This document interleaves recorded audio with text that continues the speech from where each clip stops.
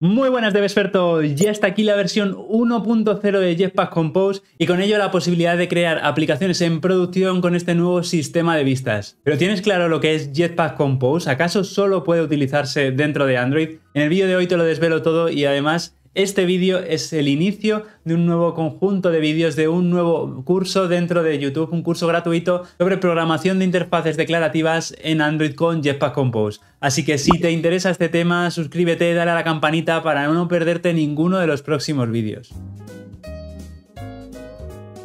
Pero entonces, ¿qué es Jetpack Compose? Jetpack Compose es un sistema de creación de interfaces declarativas para Android. Quizá te has quedado igual que estabas pero es la tendencia hoy en día para creación de interfaces y no solo en Android, sino en muchos otros entornos de desarrollo. Seguramente esta tendencia empezó a popularizarse con React, pero también lo hemos visto, por ejemplo, después en Swift UI para iOS o incluso Flutter utiliza de base este sistema de creación de vistas. ¿Pero qué son las interfaces declarativas? Pues ahora mismo te lo cuento. Son sistemas de vistas que utilizan el paradigma de programación declarativa. Vale, te has quedado igual, ¿no? Pero ahora te cuento qué es la programación declarativa. Cuando nosotros escribimos código en programación imperativa, normalmente le decimos al código paso a paso lo que queremos que haga para conseguir el objetivo final.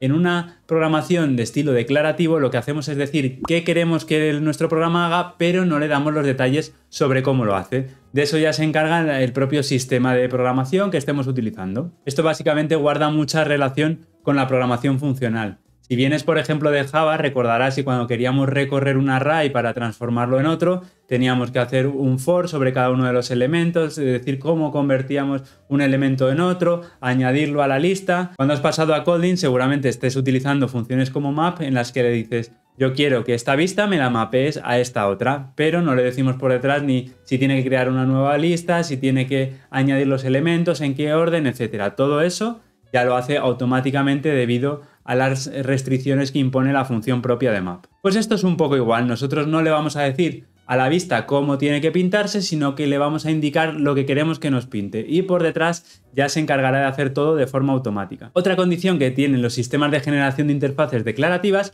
es que se van a enganchar a un estado y cada vez que ese estado cambie se va a actualizar la vista de forma automática, sin necesidad de hacer nosotros nada. Este sistema de repintado no vamos a entrar mucho en ello porque es bastante complejo, pero está muy optimizado para que solo las partes que se vean afectadas por ese cambio de estado sean las que se actualicen y el resto se mantenga inmutable, no necesite repintarlo otra vez, de tal forma que ese sistema de pintado sea mucho más efectivo que si cada vez que algo cambiara tuviéramos que repintar toda la pantalla. La segunda pregunta que te puedes estar haciendo, ¿es Jetpack Compose solo para Android? Y esta es una pregunta un poco con trampa y te voy a explicar por qué.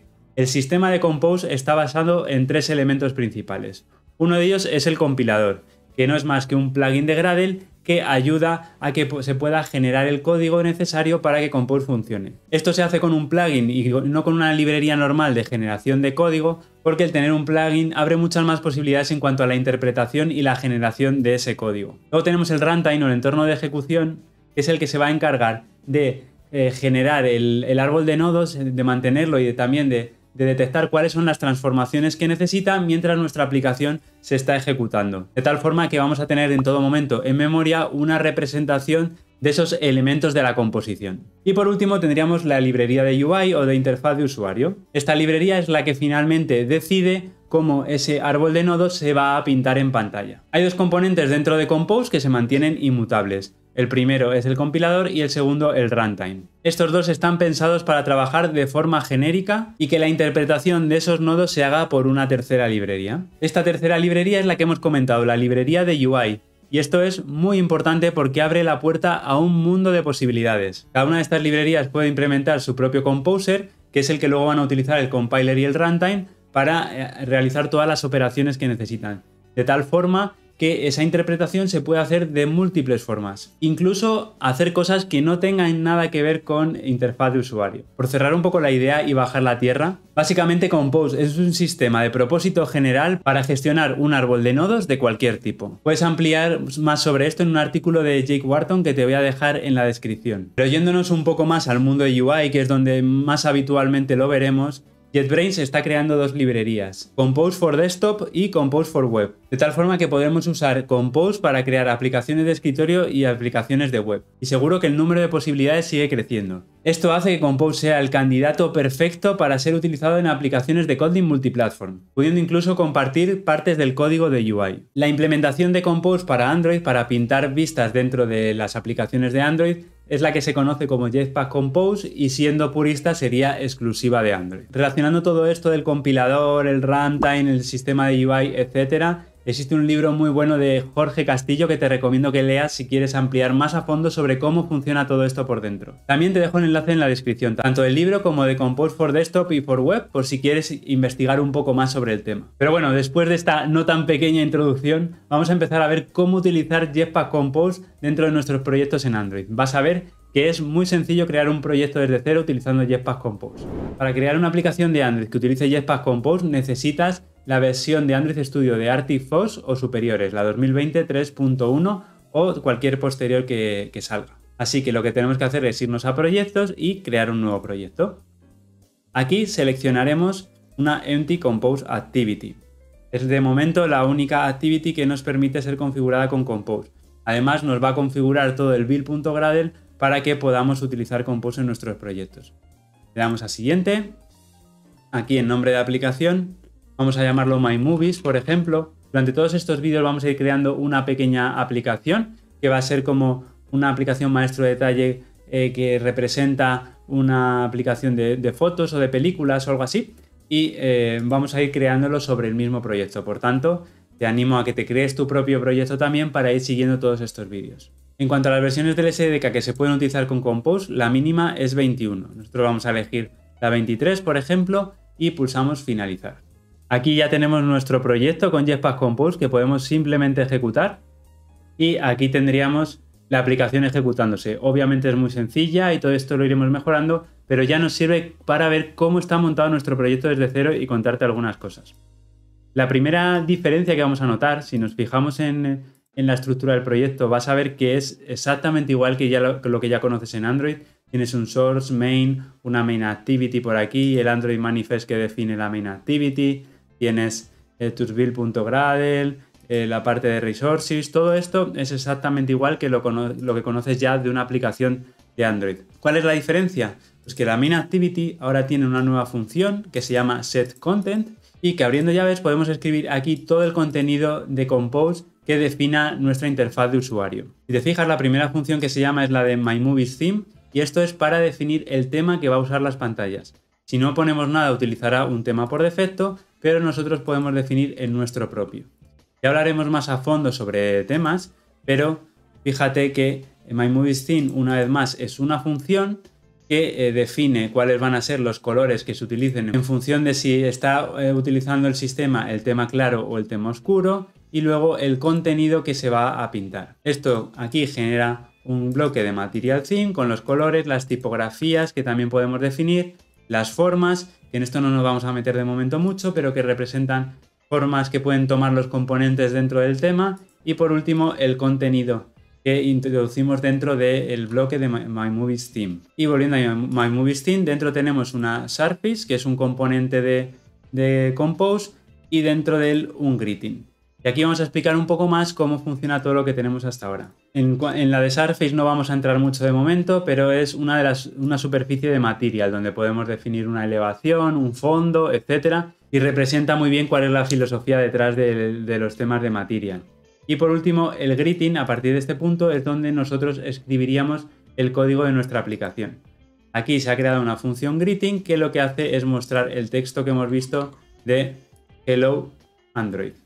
Si te fijas, greeting recibe un parámetro nombre, que es el que se utiliza luego para pintar el texto. Otra cosa interesante a tener en cuenta aquí y que vamos a ver a lo largo de todo el uso de, Compose es que las funciones que queramos utilizar dentro de un bloque de Compose tienen que ser funciones composable. Estas funciones se tienen que marcar con esta anotación porque luego el compilador del que hablábamos convertirá esas funciones en lo que el sistema de Compose necesita para poder trabajar. Todas las funciones de Compose por defecto se inician con mayúscula porque como son componentes que representan objetos en la pantalla, eh, se ha decidido así por, por nomenclatura. Pues si te fijas, si yo no pongo aquí el arroba composable El lint me avisa de que las funciones no deberían empezar por mayúscula, pero cuando lo hacemos con Composable no nos indica eso, porque el plugin de Compose se, encarga de definir esa restricción. Y luego aquí tenemos otra función Composable, pero esta está marcada con arroba preview. ¿Y para qué sirve esto? Porque en el sistema de vistas de Compose no tenemos como teníamos en, Android, que teníamos nuestro diseñador donde podíamos ir arrastrando las vistas, etc. Lo más cercano que tenemos de momento son estas previews que podemos ver aquí a la derecha de la pantalla. Y para definir cuáles son las previews que queremos tener aquí, simplemente necesitamos marcar una función composable con el arroba preview. La única restricción que tienen estas funciones es que no le podemos pasar nada por argumento a las funciones. Así que, por ejemplo, si aquí queremos probar el greeting de Android, pues eh, tendríamos que crearnos una función que en este caso se ha llamado default preview, que eh, indique como greeting ese Android. Por defecto, si te fijas, el nombre que le da la preview es el mismo que el de la función, pero podemos cambiarle el nombre aquí. Podemos decirle que este name utilice Android Greeting, por ejemplo. Y si te fijas, ahora ha cambiado aquí. Hay algunas cosas de la preview que están muy bien, que son, por ejemplo, que si cambiamos literales, ya sean strings o tamaños o cosas así se cambian automáticamente. Yo puedo poner aquí en vez de Hello Android, puedo poner Hello Antonio. Y si te fijas, se está actualizando automáticamente porque tenemos activo esto, que haya ediciones en vivo de los literales. Pero el resto de cosas no se pueden cambiar. Si yo, por ejemplo, añado aquí otro greeting y le llamo greeting eh, Android como estaba antes, me va a obligar a compilar y refrescar esta vista. Y esto es un sistema que tarda bastante. Realmente yo en mis pruebas he visto que tarda más en mostrarte las previews que directamente en compilar en el dispositivo. Por tanto, a mí me verás que en estos vídeos, de momento y tal como está el estado de las previews ahora mismo, no voy a utilizar las, previews muy a menudo. Simplemente ejecutaré en el dispositivo y veré los cambios. Esto al principio, sobre todo cuando estás aprendiendo, es un problema porque probar pequeñas cosas te va a llevar un poco más de tiempo en comparación con otros sistemas como Flutter, por ejemplo, que te actualiza en vivo todo lo que vas cambiando. Pero una vez que empieces a conocer toda la nomenclatura de Compose y a escribir los componentes sin necesidad de mirar y probar mucho, verás que vas a ser mucho más rápido y mucho más efectivo que con los XML. Este argumento de show background, por si quieres ver para qué sirve, si lo quitamos lo que va a hacer es quitarnos el fondo y nos lo pone en, transparente. Normalmente nos interesará que el background se muestre para ver lo que tenemos por encima. Si te fijas en este ejemplo que hace aquí, hemos tenido un problema, que es que se, se nos han puesto encima los dos elementos, porque por defecto Compose lo que hace es apilar unos elementos encima de otros si no le decimos nada más.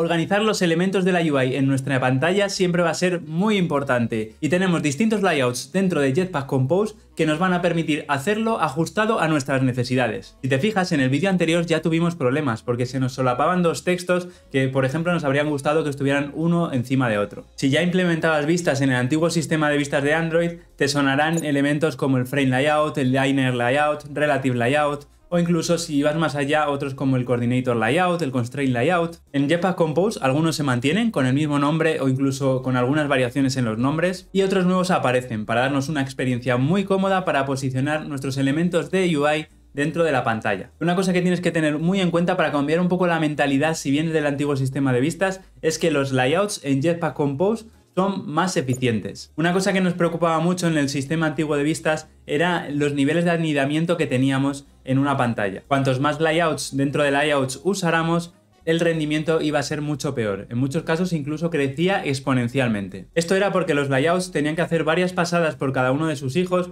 para medirlos, saber cómo encajaban dentro de la pantalla y ajustarse ellos mismos al tamaño correspondiente al de los hijos. En Jetpack Compose esto se soluciona porque a los layouts solo se les permite visitar a sus hijos una única vez. Por tanto, no nos tenemos que preocupar tanto por los niveles de anidamiento, ya que la penalización por hacerlo será mínima. Existen muchos layouts diferentes en Jetpack Compose y aquí para empezar solo vamos a hablar de algunos, incluso en el vídeo en particular nos vamos a centrar hoy en los básicos y te voy a mencionar aquí algunos de los más habituales que nos encontramos en nuestro día a día. El primero de ellos y el que más vas a usar es el box, que es el equivalente al frame layout. Con el box se pueden organizar los elementos alineándolos con la caja que los contiene de una forma muy básica. Luego tenemos row y column que sustituyen al linear layout. El row consistiría en posicionar los elementos en forma horizontal y el column en forma vertical. También se pueden aplicar pesos para decidir cuánto ocupará cada elemento. Unos muy parecidos a los anteriores, pero con características muy especiales son lazy row, lazy column y lazy vertical grid. Cuando tenemos una columna o una fila en la que necesitamos posicionar una cantidad de elementos muy grande o incluso infinita, necesitamos que se vayan cargando poco a poco. Estos componentes serían el sustituto de Recycler View, pero infinitamente más fácil de configurar. Luego tenemos el Constraint Layout, que sí sigue existiendo en Jetpack Compose, aunque a día de hoy no hay diseñador que nos ayude a utilizarlo. Necesitamos dominar cómo hacerlo por código. Por otro lado, tenemos Scaffold, que es el que posicionaría los elementos típicos que nos encontramos en una pantalla de Material, como puede ser la Action Bar, un menú lateral, la Button Navigation, el Floating Action Button. Sería un poco el equivalente al Coordinator Layout, pero la forma de funcionamiento es muy diferente. Luego tendríamos Surface, que es equivalente al Box, pero que implementa todas las ideas detrás de Material. Gracias a utilizar Surface se pueden aplicar mejor elementos como la elevación, los bordes y es más inteligente en la selección de colores basados en el tema de materia. Y por mencionar uno más, tenemos Card, que en realidad es muy equivalente al Surface. Representa una card o una tarjeta de material y de hecho si miras su implementación no es más que un Surface con unos cuantos elementos predeterminados que han sido modificados. Además de esto, a diferencia del sistema antiguo de vistas, es relativamente sencillo crear tus propios layouts a partir del componente layout. Así que no será extraño que lo hagas para cubrir ciertas necesidades un poco más específicas. Pero hoy nos vamos a centrar en los básicos, box, column y row. Nuestro objetivo en los próximos vídeos es conseguir pintar una pantalla como esta. Aquí ya te cuento a futuro que vamos a necesitar uno o varios boxes, un column y un lazy vertical grid. Y en los próximos vídeos vamos a ir viendo cómo hacer eso y muchas cosas más. Pero para centrarnos vamos a empezar con el box. El box, como hablamos, vendría a ser el frame layout de Jetpack Compose. Es el componente más simple, pero te vas a hartar de usarlo. Siempre que quieras que dos componentes ocupen el mismo espacio y que se posicionen de forma relativa a su parent, Box vendrá al rescate. Para ello, lo único que tienes que hacer es agrupar los composable hijos dentro del box. Y aquí me voy a pasar ya al Android Studio para ir viendo ejemplos sobre cómo se utilizan. Volviendo al ejemplo que teníamos en la default preview, voy a añadir un box aquí y las llaves de cierre obviamente tienen que estar al final. Cortamos y pegamos esto aquí dentro y compilamos. Con lo que llevamos ahora mismo, en realidad estamos haciendo el equivalente a lo que ya existía, porque en el box, igual que por defecto cuando no hay un layout, se apilan unos encima de otros. En este caso, el de Android, como se ha puesto después, estará por encima del de Antonio. Vamos a decirle a esta preview que ocupe de tamaño 400 por 200 para tener un poco más de espacio y poder organizar más la pantalla a nuestras necesidades. La hacemos un poco más pequeña para que nos quepa y me voy a quitar yo para no taparos la preview. Así la podemos ampliar un poco más. Lo primero que vamos a necesitar es que el box ocupe todo el espacio para poder posicionar cada uno de los elementos en otro sitio, porque si no, el box por defecto lo que hace es ajustarse al tamaño de sus hijos. Sería como el equivalente al wrap content de las vistas clásicas. ¿Y cómo se modifica esto? No voy a entrar mucho en este punto porque lo vamos a ver muy a fondo en el siguiente vídeo, pero se modifica utilizando el modifiers. Si nosotros le decimos modifier.fillMaskSize, lo que va a hacer es ocupar el tamaño máximo que pueda permitirse. En este caso, el 400 x 200 que hemos definido aquí. Si quisiéramos ver lo que está ocupando realmente, podemos ponerle un fondo, color.lightgray, por poner un ejemplo, y si refrescamos, veremos que ahora nos está ocupando todo el espacio. Vale, esto lo voy a quitar de momento. Como digo, ya explicaremos más a fondo cómo va todo esto en el siguiente vídeo. Pero ahora lo que queremos hacer es definir dónde queremos que se posicionen los greetings que tenemos aquí dentro. Para ello tenemos dos opciones. Tenemos la opción de definir la posición por defecto para el box completo y todos los elementos hijos seguirán eso si no se le dice lo contrario. Para ello tenemos que poner aquí Content Alignment y definirle la alineación. Vamos a definirle que por ejemplo sea el centro y a la vez que las vistas están en el centro de la pantalla. Pero nuevamente con el modifier podemos modificar individualmente cada uno de los elementos. Imaginemos que queremos que el de Android se posicione en la posición eh, inferior derecha. Voy a hacer aquí un cambio que nuevamente ya te comentaré en el siguiente vídeo para que este elemento pueda recibir un modifier. Ya te digo, esto no lo tienes que entender todavía, lo veremos más a fondo en el siguiente vídeo. Y por último, le especificamos que el modifier va a ser igual a modifier. Con esto ya al greeting le podemos decir, por ejemplo, al de Android, Vamos a ponerle el nombre. Lo ideal es que cuando tengan más de un argumento le especifiquemos el nombre y que además lo pongamos en líneas separadas para que se vuelva más legible. Modifier igual a modifier.align. Y aquí le decimos alignment.buttonen.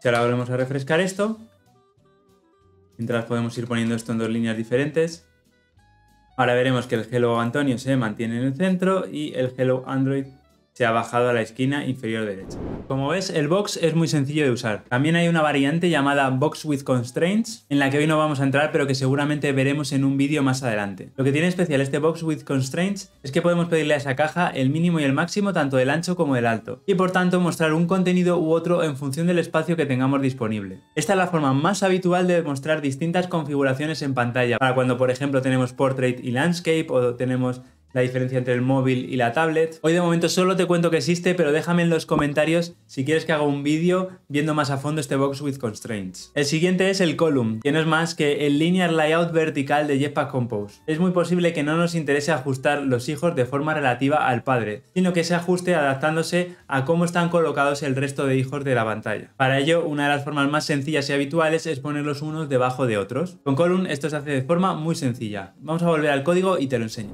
Vamos a quitar el extra que teníamos aquí de box de momento. Y vamos a dejar los dos greetings, eliminando el modifier, volvemos a dejar solo Android. Si te fijas, vuelven a estar apilados, pero lo único que tenemos que pedirle a nuestro layout es que en vez de usar un box, use un column. Lo importamos y volvemos a compilar. Y ya veremos que los elementos aparecen unos debajo de otros. Pero si recuerdas, con el Linear Layout podíamos hacer que las vistas ocuparan cierto espacio en función de un peso.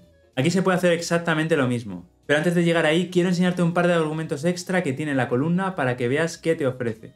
Para ello, vamos a pedirle a la columna que ocupe todo el espacio disponible. Como habíamos hecho antes, podemos utilizar el modifier y le decimos que use modifier.fillMaxSize. Y vamos a añadirle a cada uno de los greetings un modifier Podemos añadir el nombre, modifier igual a modifier punto, background. Le vamos a añadir unos fondos para que podamos distinguir bien cuánto ocupa cada uno de los greetings. Lo ponemos en distintas líneas para que sea más legible y copiamos y pegamos el greeting. Ahora en vez de Antonio este sería Android y en vez de poner el background light, light gray lo vamos a poner yellow para distinguirlo. ¿Y qué otros dos argumentos tenemos para column? El primero es el vertical arrangement que nos va a definir cómo se posicionan de forma vertical los componentes. Para ello voy a poner un tercer elemento para que nos sea más fácil distinguir cómo hace el arrangement aquí dentro, el posicionamiento. Le vamos a poner color.cyan y vamos a utilizar para empezar el el Space Evenly. El resto está claro cómo funciona, el top es por defecto, el botón que se apilan desde la parte de abajo y el center desde el centro del espacio que tenga la columna.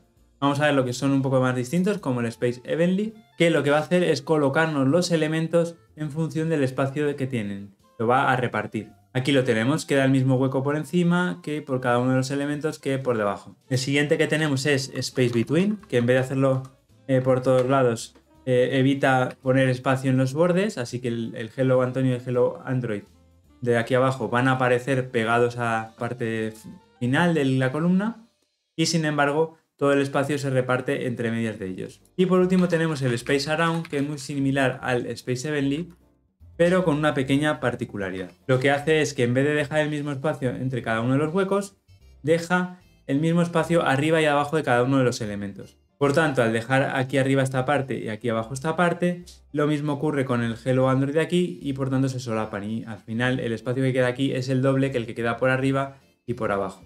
Son pequeñas diferencias pero que es interesante tenerlas en cuenta por si necesitamos una cosa u otra. Y por último tenemos el Horizontal Alignment que como su propio nombre indica es para definir la posición horizontal. Podríamos hacer alignment.center horizontally para que nos lo ponga en el centro de la pantalla. Pero además de todo lo que hemos visto hasta aquí, también podemos aplicarle pesos, muy equivalente a lo que hacíamos en el Linear Layout. Podríamos, por ejemplo, quitarle esto del Space Around, vamos a dejar solo dos, para hacer el ejemplo más sencillo, y le vamos a decir que aquí en el Weight utilice un factor de 2, por ejemplo, y aquí en el weight, por ejemplo, un factor de 1. Por tanto, vamos a tener tres huecos para repartir entre todas las vistas, dos de ellos se los va a llevar el primer greeting y uno de ellos el segundo. Si volvemos a compilar, veremos lo que ocurre. Te fijas aquí, lo hemos repartido perfectamente. Y por otro lado tenemos el row, que sería el equivalente al linear layout horizontal. Aquí tampoco me voy a entender demasiado, ya que es igual que el column. Todo funciona de la misma forma, con la salvedad de que aquí las propiedades se llaman horizontal arrangement y vertical alignment. La forma de repartir el espacio es idéntica, solo que a lo ancho en vez de a lo alto. Por poner un ejemplo muy rápido, vamos a volver atrás. A dejarlo como lo teníamos anteriormente. Vamos a quitar este greeting de aquí y lo que vamos a hacer es sustituir este column por un row. Ponemos aquí row. Lo que antes se llamaba vertical arrangement ahora se llama horizontal arrangement. Y lo que antes se llamaba horizontal alignment ahora se llama vertical alignment. Y podríamos hacer aquí, por ejemplo, alignment.center vertically. Si volvemos a compilar esto, nos aparecerán ordenados por espaciados en la parte central, yendo de izquierda a derecha. Perfecto. ¿Y qué ocurre si el contenido de las filas y las columnas ocupa más espacio del que tenemos disponible en pantalla? Por defecto no veremos esas vistas y no podremos interactuar con ellas. Para hacerlo necesitaríamos un equivalente al scroll view y en Compose no existe. Pero no te preocupes porque existe otra opción y en próximos vídeos lo veremos. Llegados hasta aquí lo que nos queda es aplicar lo que hemos aprendido a nuestro ejemplo. Nuestro primer objetivo es pintar uno de los elementos del listado de nuestra app, que tiene una pinta como lo que puedes ver por aquí. Todavía nos faltan por aprender unas cuantas cosas para lograrlo y en los próximos vídeos vamos a verlas todas. Pero lo que tenemos claro es que necesitamos un column para poner la imagen encima y el texto debajo y al menos un box, una caja para apilar la imagen de fondo con el icono del play encima. Así que vamos a ir haciendo esto. Para ello podemos borrar ya toda esta preview. El composable de greeting lo dejaremos todavía de momento. Y lo que vamos a hacer es crearnos un nuevo composable. En este caso lo voy a crear todavía como una preview, porque así nos va a ser más sencillo el irlo montando poco a poco. Así que montamos una preview y le decimos que esto se va a llamar media item, por ejemplo. Lo que vamos a necesitar es una columna. De momento no le vamos a añadir argumentos con un box Aquí es donde van a ir las dos imágenes. Todavía no vamos a añadir nada respecto a imágenes porque haremos otro vídeo relacionado con todo esto. Y un texto que podemos decirle que va a tener el texto title 1. Como veíamos, necesitamos una imagen que tenga cierto ancho y luego ya equipararemos el ancho y el alto para que se mantenga, pero de momento vamos a identificar con el modifier que podemos poner aquí. Le vamos a decir que utilicemos un modifier punto Vamos a ponerlo cada uno en una línea. Una altura que vamos a marcar de momento como 200 dp. Le decimos que ocupe el ancho completo, todo el ancho que le sea posible. Y por último le vamos a poner un, background, un fondo de color rojo. De esta forma lo podemos distinguir un poco mejor. Y por último, con esto vamos a hacer Control Shift F5. De los modifiers no te preocupes mucho porque como ya hemos comentado, los vamos a ver en el próximo vídeo muy a fondo. Y aquí tendríamos la preview. Vamos a decirle a la preview que muestre el fondo para que el título ese se vea un poco mejor y lo vamos a hacer más pequeño para que nos entre en la pantalla. Más o menos tendríamos esto de momento. Obviamente todavía quedan muchas mejoras, pero en los próximos vídeos iremos viendo cómo hacer todo esto.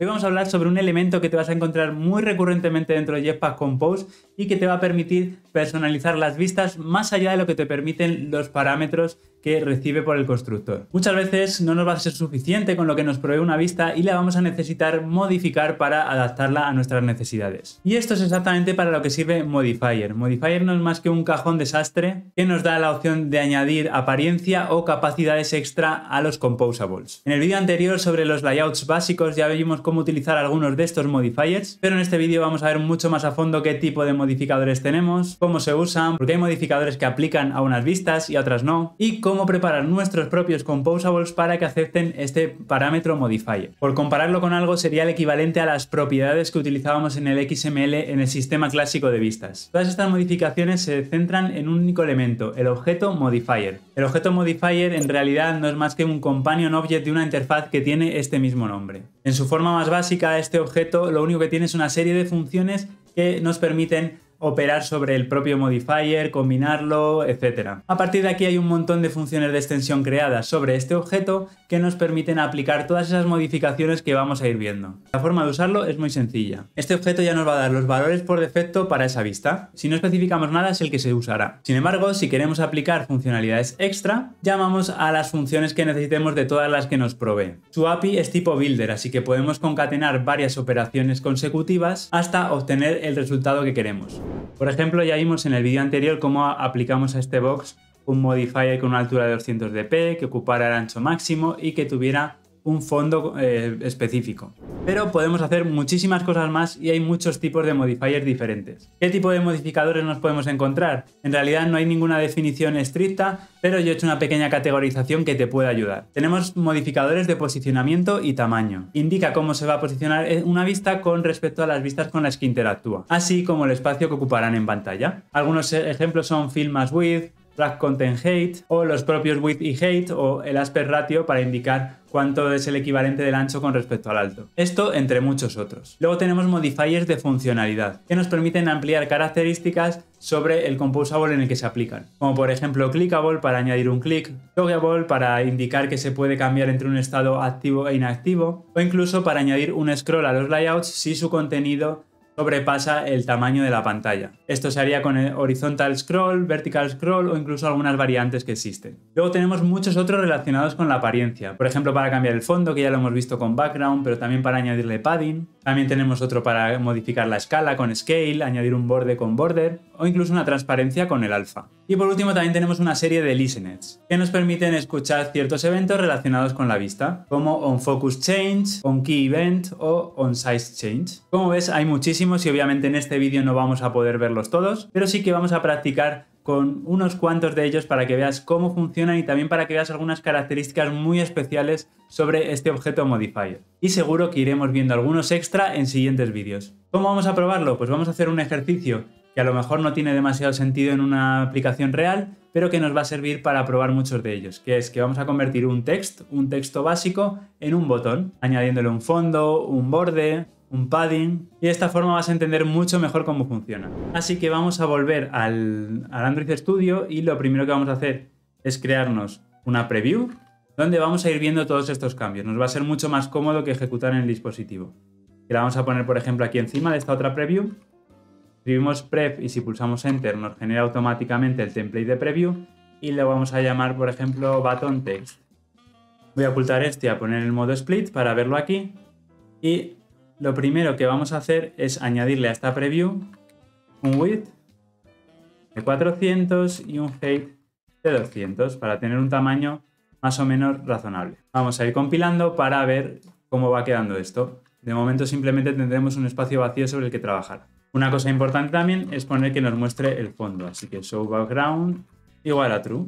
Lo que vamos a hacer es crearnos un box porque lo que quiero es que se me centre en la pantalla, así que le vamos a decir que ocupe el tamaño completo de, la pantalla y luego vamos a añadir un texto aquí dentro que va a ser Hello World. Para que tarde menos en mostrarnos esto y que nos podamos centrar mejor en el que estamos haciendo ahora mismo, voy a desactivar, deshabilitar las otras previews, simplemente voy a comentar la anotación para quitarnos las de en medio. Y así podremos trabajar más enfocados. Otra cosa que necesitamos del box es que nos lo centre, así que Vamos a decir content alignment, alignment.center. Y aquí lo tendríamos centrado. Por verlo un poco más grande, voy a modificar esto, lo voy a cambiar a 200-100 para que podamos ampliar esto y se vea un poco mejor. Así, perfecto. Muy bien, pues con esto ya podemos empezar a trabajar. Lo primero que vamos a hacer, todo botón requiere de un fondo para identificarlo como un botón clicable. Por tanto, le vamos a decir al Hello World que nos aplique un modifier. Este sería el modificador por defecto. Vamos a ponerlo en varias líneas. Lo primero voy a decir que añada el nombre también a este y poner los parámetros en distintas líneas. Esto veréis que lo hago en todas las vistas de Compose y es porque es recomendable cada parámetro vaya en su propia línea porque se vuelve mucho más legible. Por tanto, a este modifier le voy a añadir un fondo que le vamos a poner, por ejemplo, un color cian. Cuando veamos los temas, hablaremos de que lo ideal aquí es utilizar los colores que estamos definiendo en el tema en vez de utilizar colores aquí directamente. Pero bueno, de momento, por simplificar y no entrar en partes que todavía no hemos visto, vamos a dejar así. Si compilamos, veremos que nos pone ya el fondo. Pero la verdad es que este texto está aquí un poco aplastado, no hay aire, seguro que cuando habéis visto un botón lo veis mucho más agradable, mucho más... Eh, incita más a hacerle clic porque hay espacio alrededor que nos da la sensación de que es un botón con más presencia, con más cuerpo. Para eso, lo ideal sería aplicarle un padding. A diferencia del sistema clásico de vistas en que teníamos un margin que representaba un espacio que se ponía por fuera de, la vista y un padding que aplicaba al contenido propio de la vista, en Jetpack Compose solo existe el padding. Y mediante una funcionalidad que vamos a ver después, veremos que con el padding podemos realmente hacerlo todo. ¿Qué nos permite el padding? Añadir un padding específico para todo el objeto, añadir uno horizontal y otro vertical o añadir uno por cada uno de los lados, pues la parte inicial, superior, final y la inferior. Nosotros vamos a hacer por hacer uno un poco diferente el horizontal y el vertical. Le vamos a añadir en el horizontal 16 dp y en el vertical 8 dp.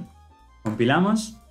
Y una cosa que sí que tenemos interesante con las previews de, de Jetpack Compose, que a día de hoy todavía son un poco lentas, pero sí que hay algunos elementos que se pueden eh, actualizar en vivo, como son los eh, Live Literals. Si los activamos y hacemos aquí Enable Literals Decoration, vamos a ver en nuestro propio código cuáles son esos elementos que nos permite modificar de forma directa, en vivo. Y aquí los tendríamos. Por ejemplo, yo puedo modificar este texto y puedo poner Hello Antonio y vemos en la preview que se va actualizando automáticamente. O aquí si en vez de 16dp le pongo 2dp, pues también se modifica automáticamente. Esto incluso aunque lo ejecutemos en un dispositivo, también de forma automática se van a ir actualizando. Y por lo menos pues podemos jugar un poco con eso para conseguir el efecto que necesitemos. Esto ya va cogiendo forma, pero ¿te apetece añadirle un borde, por ejemplo, al botón? Pues vamos a hacerlo. Utilizaríamos el modifier border. Aquí le podemos especificar muchas cosas. Hay muchas formas de definir un borde, pero aquí vamos a utilizar uno más o menos sencillo que nos permite darle los dps, el ancho del borde y también el color. Vamos a decirle que el borde tenga 2 dp y que use un color punto blue, por ejemplo. Por mantener lo que estamos haciendo en el resto, vamos a decirle que añada los nombres a los argumentos, color y el width. Y vamos a ejecutarlo. Y ahora vemos que está pasando aquí algo súper raro, pero que es una de las características más interesantes que tienen los modifiers. ¿Qué está ocurriendo? Porque el borde se está aplicando alrededor del texto y no alrededor del padding completo para que parezca un botón, ¿no? Así, la verdad que no estamos consiguiendo exactamente lo que estábamos buscando. Esto es porque el orden de los modifiers es muy importante. Es sumamente importante y cada modifier que apliquemos se aplicará en el orden en el que lo hayamos definido.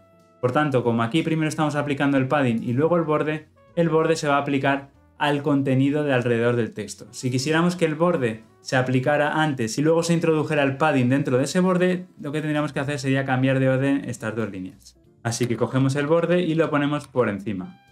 Ahora aplicamos esto, ahora sí conseguimos el objetivo que estábamos buscando. Esto que puede parecer un problema, en realidad tiene una ventaja enorme, porque gracias a que los modifiers se van aplicando en el orden en que se indican y que además podemos repetir modifiers, no quiere decir que porque hayamos añadido un padding ya no podamos añadir más, lo que podemos hacer son cosas que en el sistema clásico de vistas sería súper complejo, pero que aquí se vuelve muy sencillo.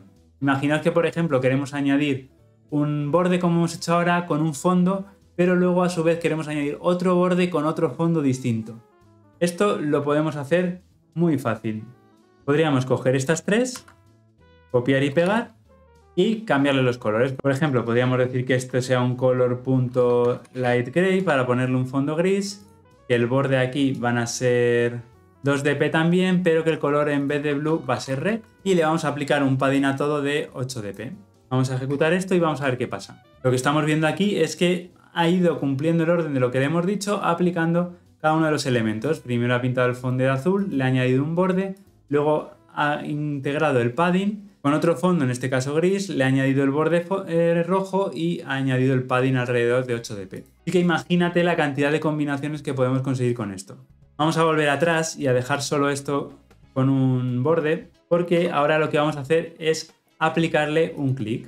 Para ello debemos ponerlo al principio del todo, porque si lo ponemos al final, solo vamos a poder hacer clic en el propio texto, pero no en todo el contenido de fuera. Sin embargo, si lo ponemos aquí al principio, todo el contenido va a ser clicable.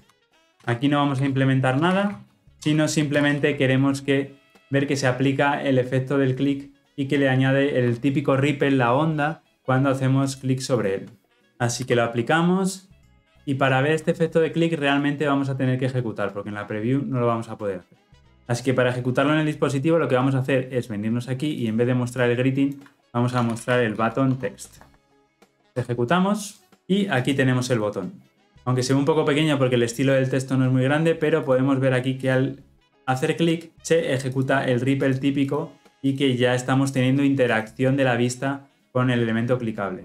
¿Y cómo preparamos nuestros composables para que acepten un modifier? Si recuerdas en el vídeo anterior te comentaba que le había añadido al greeting un modifier para poder hacer las pruebas necesarias y personalizarlo desde fuera según se necesitara, pero no te expliqué cómo se hacía, así que lo vamos a ver en este vídeo. Es una práctica necesaria si queremos que a vistas genéricas se les pueda aplicar cierta configuración. Y el proceso es realmente muy sencillo. Tan solo tenemos que pasarle un argumento modifier a la función, definir un valor por defecto para no obligar al usuario a tener que añadir un modifier y luego aplicar ese modifier al primer composable que forme la estructura del, componente que estamos creando en esa función. Así que vamos aquí a greeting, por poner el ejemplo, y le diríamos que vamos a utilizar un modifier de tipo modifier y para que no obligar a que tengan que pasar un modifier siempre, decimos que por defecto utilice el objeto modifier.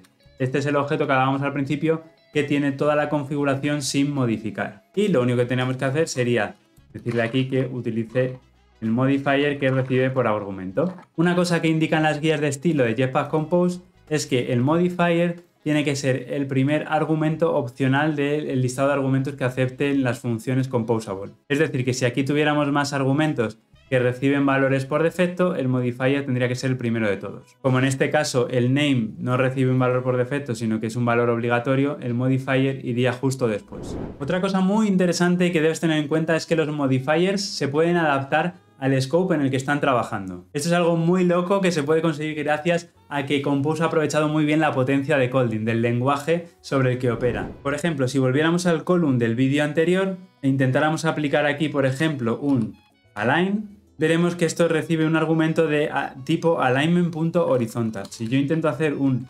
alignment.center vertically, veremos que nos da error y que no nos lo permite.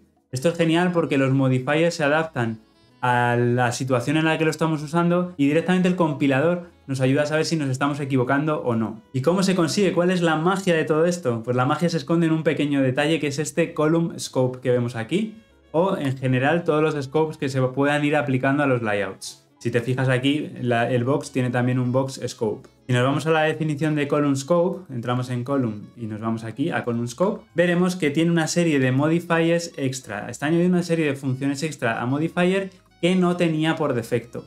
Por ejemplo, tiene aquí este modifier .align que lo que recibe es un alignment de tipo horizontal y no de tipo vertical. Tipo horizontal no van a permitir utilizar el center vertically, así que estamos cubiertos por el compilador para este caso. ¿Y cómo se genera este scope? Pues es relativamente sencillo gracias a que está utilizando aquí en el content una lambda con receiver. Esto si no conoces Colding muy a fondo igual te suena un poco complejo, no es más que una lambda que se aplica a cierto objeto y eso implica que luego podemos utilizar el objeto dentro de ese scope utilizando la palabra reservada this. Este scope no sirve solo para los modifiers, sino que veremos en el futuro cuando por ejemplo utilicemos lazy column, ahora no te voy a explicar para qué sirve, pero sí que quiero entrar en la definición para que veas que también el lazy column tiene un lazy list scope y si entramos aquí veremos que tiene un par de funciones para añadir un item, para añadir varios items a la lista. Todas estas funciones extras solo se pueden utilizar dentro de este lazy list scope. También para añadir sticky headers a la lista. Si te fijas, en realidad hasta los items tienen su propio scope, lazy item scope, que permiten hacer otras cosas extra. Bueno, ya hemos visto un montón de cosas de cómo funcionan los modifiers, también algunas partes internas de, cómo funciona por dentro, ¿no? Y de todos estos scopes, de cómo aplican ciertos modifiers solo a ciertas situaciones especiales. Y ahora vamos a aplicarlo a nuestro ejemplo. En realidad, en este punto en el que estamos, tampoco vamos a poder aplicar muchas cosas extra al ejemplo. Si nos volvemos al código, veremos que aquí ya estábamos aplicando ciertas cosas. Voy a volver a activar esta preview y voy a desactivar la otra que teníamos, que ya no nos sirve para nada. Esto era simplemente un ejemplo. El align lo voy a quitar porque no lo vamos a utilizar aquí. Pero sí que teníamos ya esta vista, ¿no? Con el fondo rojo que luego cambiaremos en el futuro por una imagen. Voy a minimizarlo para que se vea mejor. Y este title que realmente nos gustaría que estuviera centrado y que tuviera un padding. Así que, por ejemplo, podemos añadir otro box.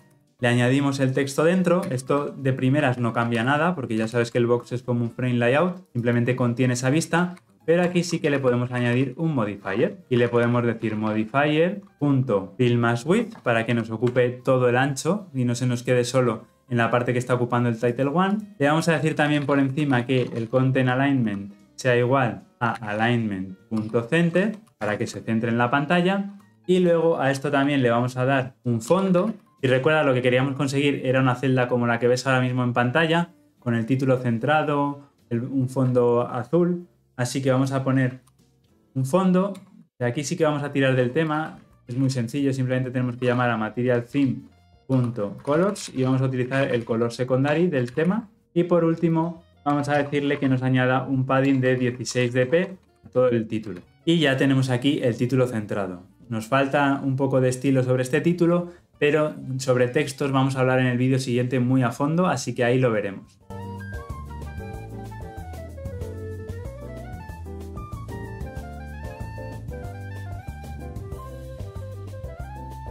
Los textos son una parte imprescindible en cualquier interfaz de usuario y por tanto es muy importante saber cómo utilizarlos y cómo sacarles el máximo partido. En Jetpack Compose, el composable encargado de renderizar el texto se llama simplemente text, a diferencia del sistema clásico donde si recuerdas se llamaba TextView. En realidad existe una versión más básica llamada Basic Test, pero que no aplica las guías de Material Design y por tanto en la mayoría de las ocasiones no lo vamos a necesitar. Ya hemos visto como por ejemplo en la función greeting que utilizar un texto, un text es muy fácil, lo único que tenemos que hacer es utilizar la función text y pasarle el texto que queremos que renderice. Aquí teníamos el ejemplo, pero imaginemos que en vez de esto quisiéramos renderizar un texto que tengamos en los strings de los resources, lo único que tendríamos que hacer es text igual a string resource y pasarle el r.string.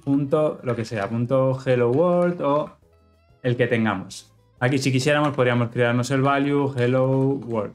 No es nuestro caso, así que vamos a deshacer todo esto que hemos hecho aquí pero lo que sí que vamos a hacer es recuperar esta preview que usamos previamente.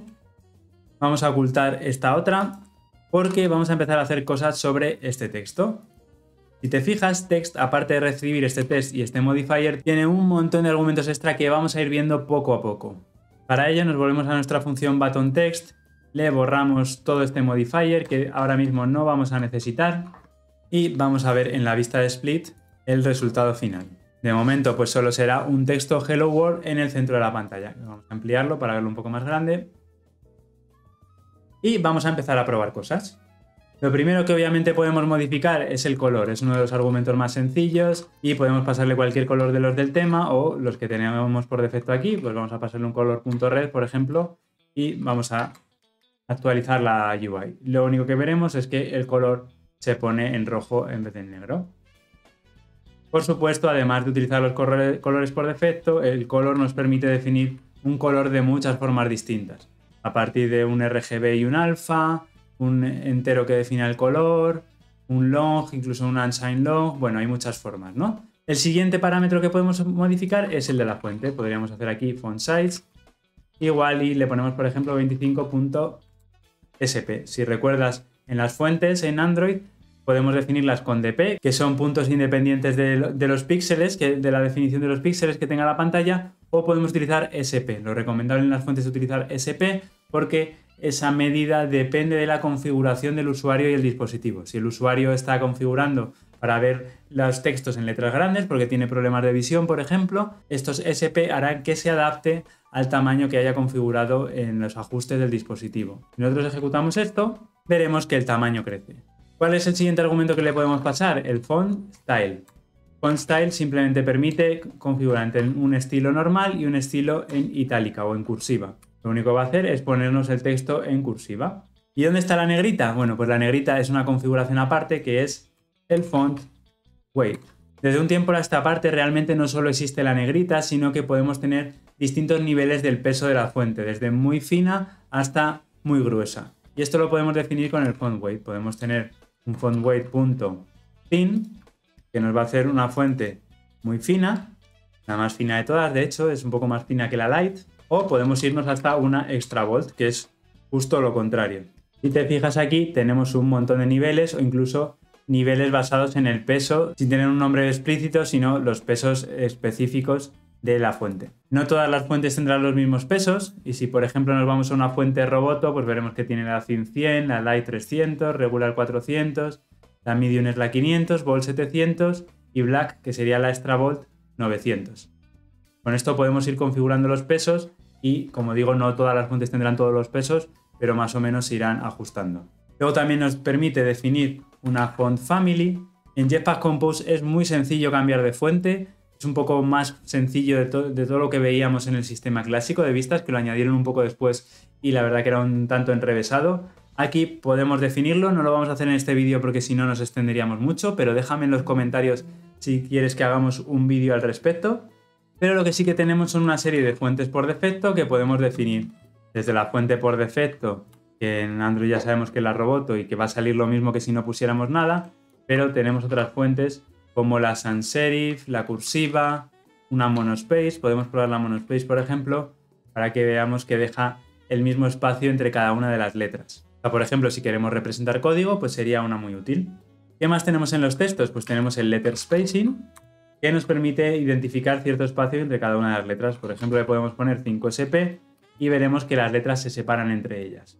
Y si queremos añadirle decoraciones distintas al texto, como por ejemplo un tachado, un subrayado, tenemos test decoration y podemos hacer test through para un tachado o un underline o un combine que nos permita combinar tanto el line through como el underline. Vamos a ponerle un line through, por ejemplo, y aquí lo veríamos tachado. Imagina que tenemos un texto más largo y queremos decirle cómo se nos alinea, si queremos alinear a la derecha, a la izquierda, justificado, centrado. Para ello nos vamos a crear aquí un nuevo resource, string resource, r.string. Vamos a llamar lorem, vamos a añadir el, típico lorem ipsum y le vamos a añadir un texto más o menos largo. Compilamos para ver el cambio y vamos a quitar el tachado, pero bueno, vemos que tenemos una cantidad de texto que realmente no se nos sale, ¿no? Y por tanto podemos permitirle distintas alineaciones. Vamos a decirle, por ejemplo, que nos lo alinee con la opción align Tenemos align.end o right, que vendrían a ser lo mismo, left o start, dependiendo de, si el idioma va de izquierda a derecha, son lo mismo o no, obviamente. Y el center y el justify. Podemos probar el right, por ejemplo. Vamos a darle y veremos que ahora el texto se nos alinea hacia la derecha. O si utilizamos el justify, se extenderán las letras para ocupar todo el espacio. Ahí lo tenemos. Pero, ¿qué pasa si lo que queremos es cambiar la altura de la línea? Es decir, que cada línea haya un espacio un poco más grande podemos utilizar line height y darle el tamaño que queramos. Aquí podemos definirlo tanto en dp como en sp o como una medida que suele ser la más habitual para line height, que son los em. Los em representan, un em sería la altura de una letra y si le ponemos dos em, pues la altura de la línea va a ser dos veces la altura de una letra. Y vamos a hacer otra compilación y vemos que ha dejado mucho más espacio entre líneas. Y luego hay tres propiedades que funcionan bastante en conjunto que son max lines, test overflow y short wrap. Nosotros podemos definir que un texto tenga un número de líneas definido, por ejemplo, max lines 1. Y por tanto el texto no puede pasar de ahí. Nos crea una única línea. Por tanto, lo que nos ocurre es que vemos el texto cortado. Pero si te fijas, no está cortando ninguna palabra. Incluso aunque aquí podría caber parte de la siguiente palabra, no lo hace. ¿Esto por qué es? Porque por defecto utiliza soft wrap a true. El soft wrap lo que hace es que hace un recorte del texto para que no aparezca ninguna palabra a medias. Si yo lo pongo a false, lo que ocurrirá es que la siguiente palabra aparecerá, pero se irá por el lado derecho. Así puede quedar un poco raro si lo que queremos es que nos represente que tiene más texto. Existen varias formas de gestionar el que el texto se esté saliendo, ¿no? Y entonces eso se hace con el argumento overflow. Por defecto utiliza el test overflow.clip pero podríamos utilizar el test overflow.ellipsis que lo que hace es añadir tres puntos al final para definir que hay más texto pero que no cabe. Y aquí lo tendríamos. Tenemos una tercera opción que es overflow.visible. Ese es un caso un poco especial porque vendría a decir que aunque se salga del espacio que tiene esa, esa vista, que siga pintando el texto sobreescribiendo el resto de las vistas que, se encuentran en la pantalla. Es un caso un poco extraño que normalmente no necesitaremos, pero que sepas que existe y que está ahí. Y ya para ir terminando tenemos otra opción que es Context Layout, que hoy tampoco vamos a ver a fondo porque es bastante compleja, que es un listener que nos devuelve un Text Layout Result, cuando la disposición del texto termina de calcularse. Esto devuelve un montón de información sobre cómo se ha mostrado el texto, si ha habido overflow, el número de líneas, el tamaño y un largo etcétera. Se puede usar para añadir funcionalidad extra, decoraciones al texto y todo tipo de detalles. Si te interesa un vídeo sobre esto, dímelo también en los comentarios porque es un tema complejo para tratarlo en este vídeo se nos quedaría muy largo. Y ya para terminar tendríamos otro argumento que es el style, que realmente para lo que nos va a servir es para configurar todos estos parámetros que ya hemos visto, pero incluso muchos parámetros más. Lo bueno de este argumento style es que nos permite abstraer el estilo completo en vez de tener que ir argumento a argumento, y esto también nos permite configurar los estilos en el propio tema de Jetpack Compose. No vamos a entrar mucho dentro de los temas porque quiero explicarlo en otro vídeo, pero sí que nos vamos a ir aquí a UI Theme, a la sección de Type. Aquí es donde se define la tipografía. Nos podemos crear un objeto typography que nos permite definir cómo queremos que cada una de las tipografías dentro de Material se represente. Con qué familia, con qué peso, con qué size. Y si te fijas, hay muchísimos argumentos más. Algunos que ya hemos visto y otros muchos que no.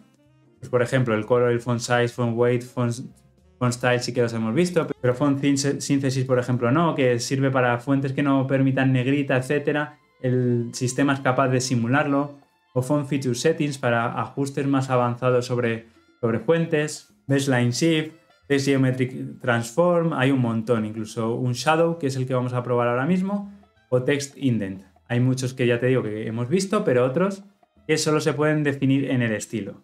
Todos estos se pueden ajustar aquí en las tipografías y luego esas tipografías automáticamente las utilizará el tema en ciertos puntos de la aplicación y nosotros también cuando las necesitemos podemos llamarlas y utilizarlas en el estilo de los textos. Todas las tipografías están aquí definidas en la, guía de Material Design y son las mismas que podemos ver aquí. Existe el Headline 1 el, hasta el Headline 6, los dos subtitles, los dos bodies, el estilo para los botones, para el caption y para el overline. Todos estos los tenemos replicados en el propio tema de Jetpack Compose. Y podríamos modificarlos uno a uno para que representaran la apariencia que necesitáramos. Esta typography luego se aplica en el tema. Como digo, no vamos a entrar ahora en cómo funcionan los temas porque veremos en un vídeo aparte cómo es. Lo que sí vamos a hacer aquí, por ejemplo, es aplicar un material theme.typography.h4, que sería el headline 4 que hemos visto en la guía de estilos. Vamos a volver al Hello World de antes para que sea esto un poco más sencillo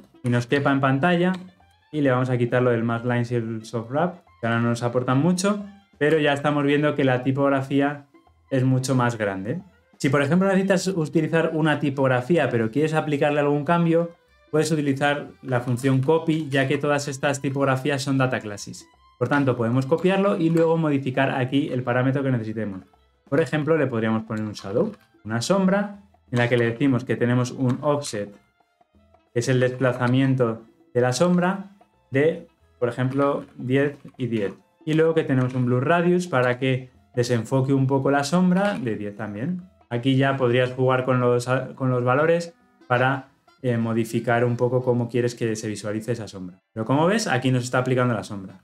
Solo bueno que aquí podríamos ir probando cosas distintas por ejemplo, el 5F hace un blur más, más suave o incluso le podemos poner aquí un color que sea un color punto black y le podemos decir que tenga un alfa, por ejemplo, de 0.5 para que la sombra no sea tan fuerte e incluso que el offset no sea tan grande, pues le podemos poner 5F y 5F. Aquí sí nos está obligando a compilar otra vez, vamos a hacerlo. Y ya tendríamos pues una sombra un poco más delicada que la que teníamos antes. Ya has visto que a las fuentes se le pueden aplicar un montón de configuraciones extra y que el argumento style nos da todavía más flexibilidad y más diversidad. Y ahora lo que vamos a hacer es aplicarlo al ejemplo que estábamos haciendo. Por recordarlo, en el punto en el que estábamos, estamos creando celdas de este estilo y lo que nos faltaría sería hacer esa fuente, esa tipografía un poco más grande. Así que vamos a aplicarle alguno de los estilos que nos provee el tema de Material. Volvemos a comentar esta preview y vamos a activar la del media item y lo que vamos a hacer es darle un estilo a este title. Así que nos vamos aquí, le definimos que nos ponga el texto al argumento, como va a tener más de un argumento lo ideal es nombrarlos y le aplicamos un style igual a material theme.typography y en este caso le vamos a aplicar un H6 por ejemplo. Vamos a poner esto en líneas separadas para que sea la mejor y hacemos un control shift F5 en Windows al menos para actualizar la preview. Y con esto ya lo tendríamos. Aquí ya has aprendido a configurar cualquier texto que se te presente en todas las múltiples combinaciones y todo lo que te permiten las fuentes, pero esto se nos está quedando ya un poco cojo sin poder cargar imágenes.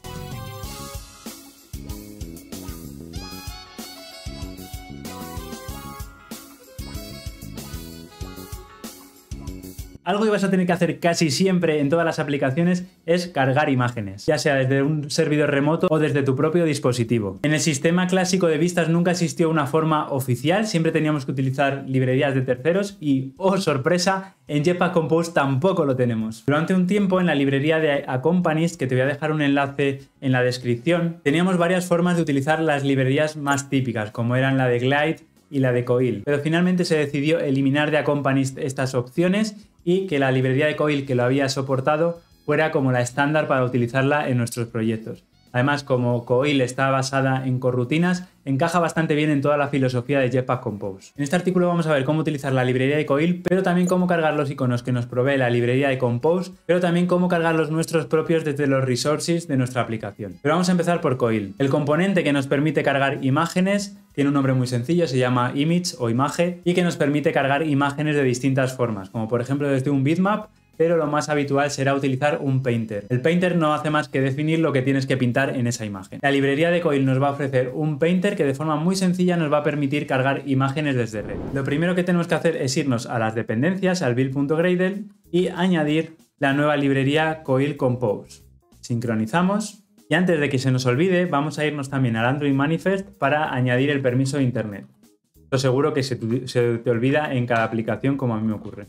Ahora nos vamos a ir a nuestro ejemplo y donde antes teníamos un fondo rojo lo vamos a eliminar porque ya no vamos a usar este fondo. Lo que vamos a hacer es cargar una imagen.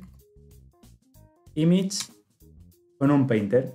Lo único que tenemos que hacer es utilizar un Remember Image Painter. Ya hablaremos de todo esto sobre los remembers en, en otro vídeo. Aquí nos ha cargado la sobrecarga de request, pero podemos borrar esto. Como ves hay varias sobrecargas y la que tenemos que utilizar es data. Pero vamos, con no poner nada simplemente pasarle un string e indicarle la URL que queremos cargar sería suficiente.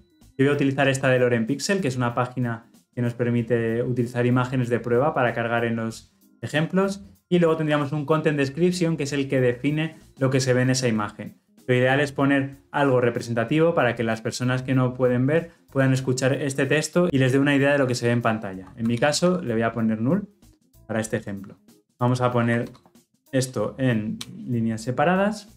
Y un problema que vamos a tener con las imágenes desde red es que no las vamos a poder ver en la preview. Así que lo que vamos a hacer es ejecutar en un dispositivo. Para ello, aquí en vez del button text vamos a cargar el media item que estamos creando. Ejecutamos la aplicación y nos carga la imagen aquí arriba.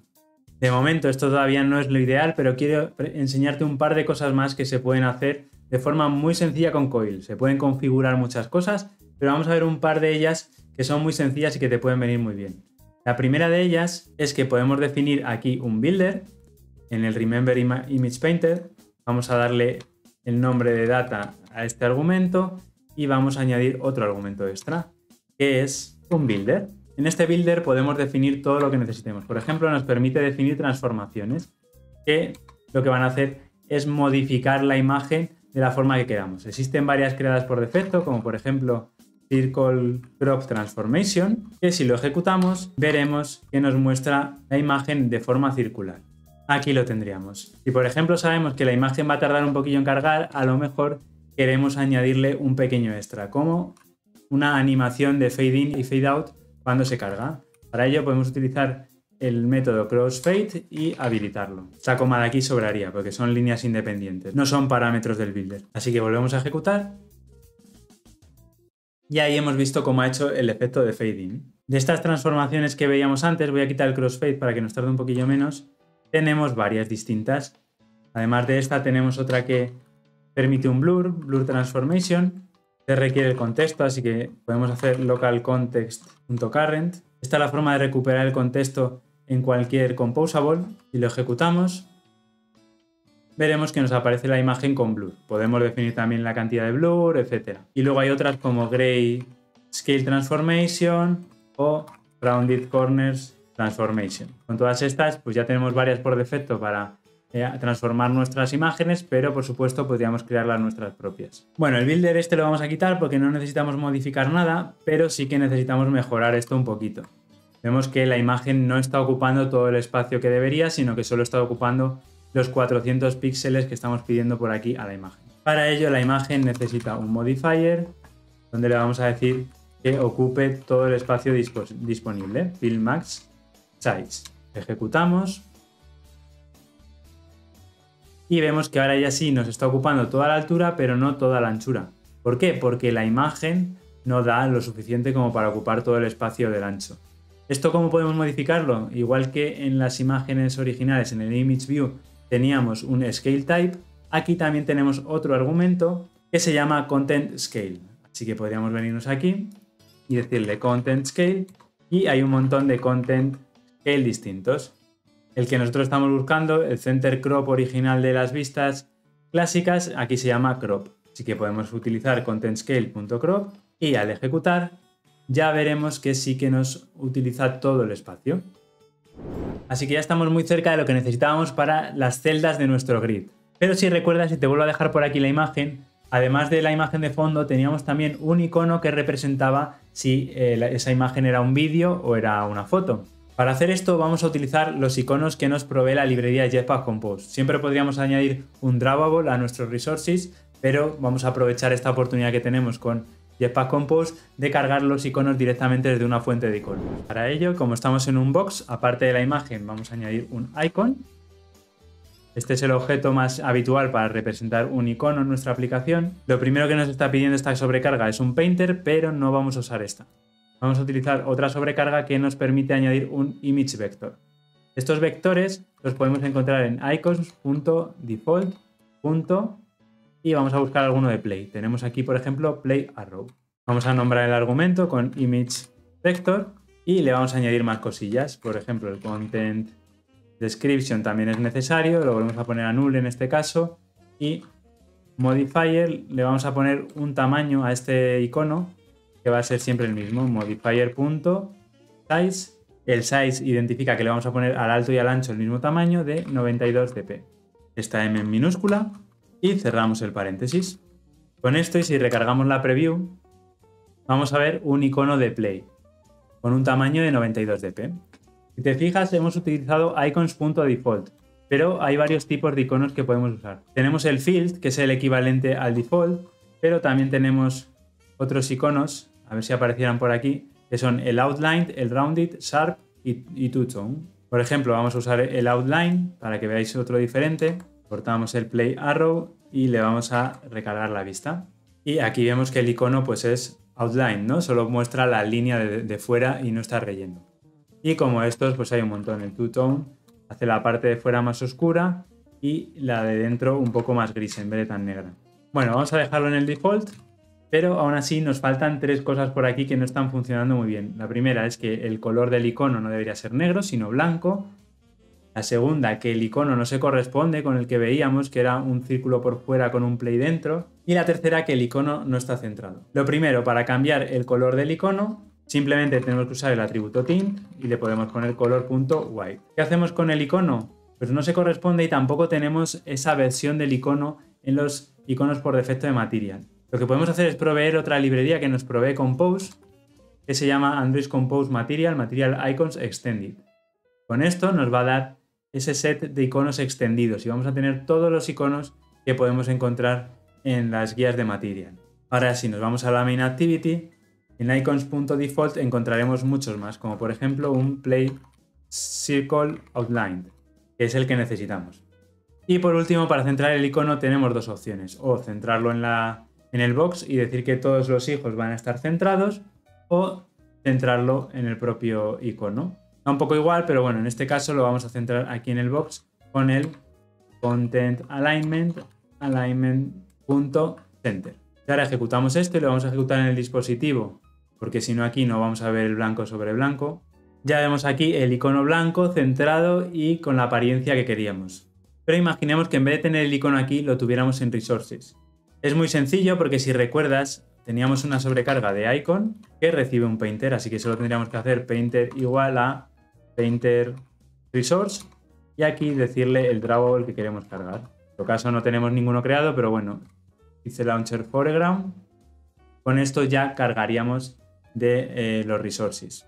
Así que si tienes los iconos en resources o cualquier otra imagen, con el Painter Resource la puedes cargar sin problema, tanto en un icon como en una imagen o cualquier objeto que acepte un Painter. Y con esto ya tenemos todo lo necesario para cargar imágenes, también tenemos los textos y también para mostrar u ocultar el icono en función de si lo necesitamos o no. Ya veremos cómo se hace eso. Pero de lo que aún no hemos hablado es de cómo proveerle esa información a esos composables. Para esto es importante entender cómo funciona el estado en Jetpack Compose. Y en el siguiente vídeo lo vamos a ver porque tiene ciertas peculiaridades.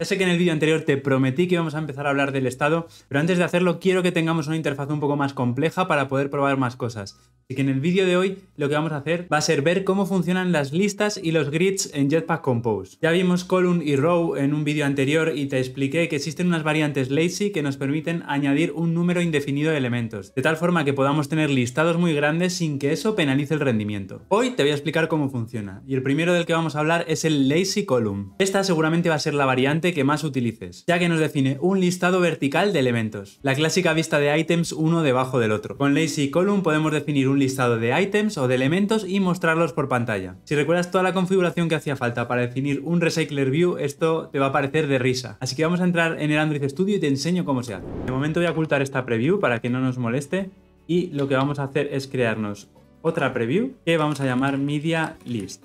Aquí lo que hacemos es llamar al composable lazy column. Estas paréntesis de momento no los necesitamos y abrimos llaves. Esto nos genera un lazy list scope aquí como puedes ver que nos va a dar alguna serie de funciones extra que nos permiten hacer ciertas cosas. Por ejemplo, tenemos una función items que le podemos pasar la cuenta, el número de items que queremos pintar. En este caso vamos a pintar 100, por ejemplo.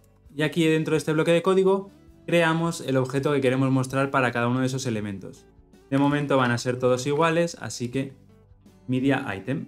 Esto está usando una función que está marcada con Experimental Coil API, la tenemos que marcar también. Esto cuando la librería de Coil ya sea estable nos lo podremos ahorrar. Si actualizamos la preview, veremos que ya tenemos aquí un listado de items y si nos ponemos por aquí encima esto nos muestra como que siguen apareciendo por aquí debajo los siguientes, ¿no? Incluso si aquí habilitamos el modo interactivo, que si no lo tienes activo, se hace yendo a las settings o preferences en experimental, podemos activar aquí debajo de Jetpack Compose el Enable Interactive and Animation Preview Tools.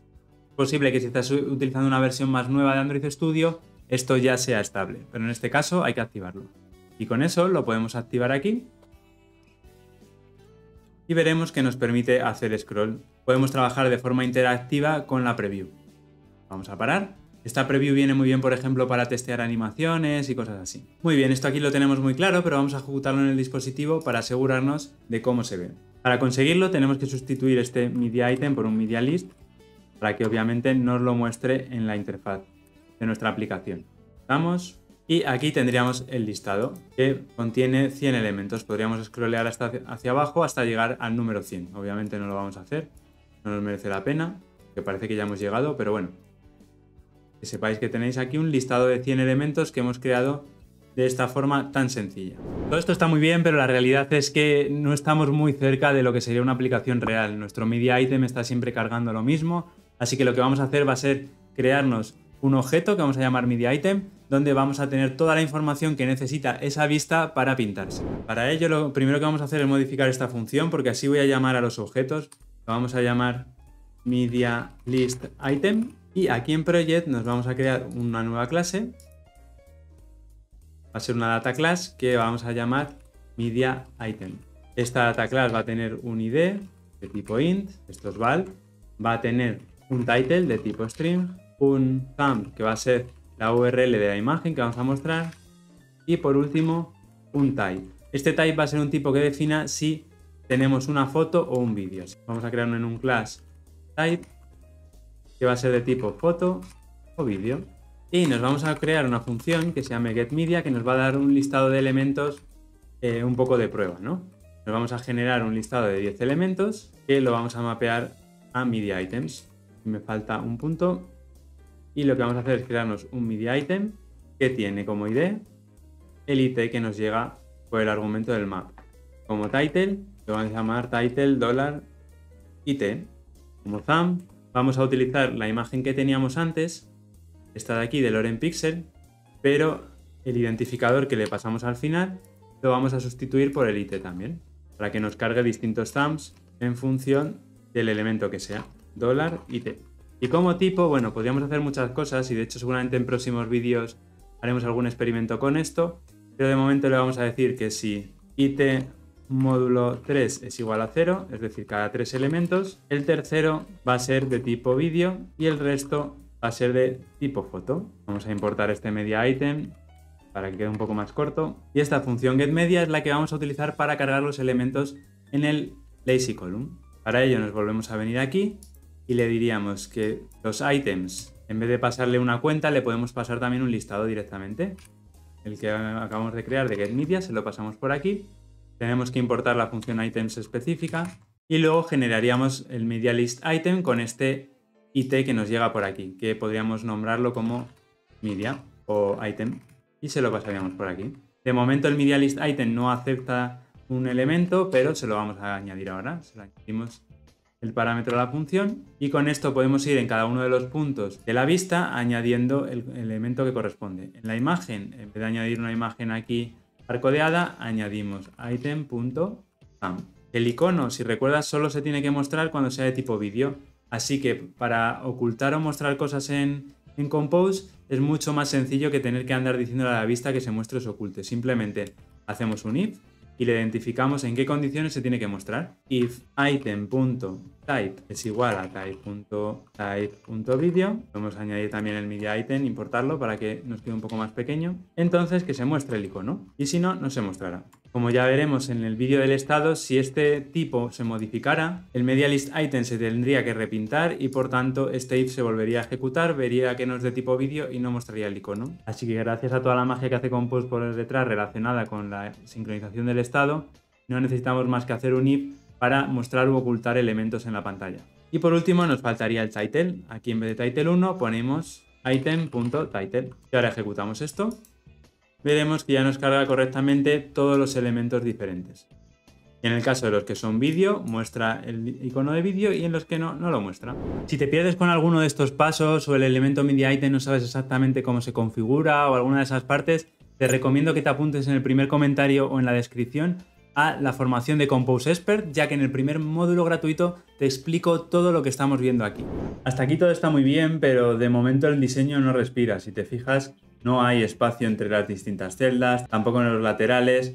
Nos gustaría que esto eh, respirara un poco más, que tuviera un poco más de, espacio entre, entre las distintas celdas. ¿Cómo podemos solucionarlo? Para ello tenemos dos parámetros especiales en el lazy column. Vamos a ello y te lo muestro. Si nos vamos aquí a lazy column y añadimos paréntesis para poder añadir más argumentos, tenemos un par que son content padding y vertical arrangement. Este del vertical arrangement ya lo vimos en las columns, pero aquí nos da alguna opción más extra que podemos encontrar interesante. Así que vamos a hacer content padding. Esto lo que decimos es que a todo el contenido le añada un padding. Así que le vamos a añadir, por ejemplo, padding values.4dp. Y ahora ejecutamos esto. Vemos que nos haya añadido esos 4 dps alrededor del lazy column. Además, si hacemos scroll, vemos que ese padding desaparece por arriba, que es lo habitual que vamos a querer en un listado. Si quisiéramos que el padding no cambiara, pues simplemente con el modifier le añadiríamos al lazy column un padding y ya está. ¿Y cómo hacemos para añadir espacios entre celdas? Pues también es muy sencillo.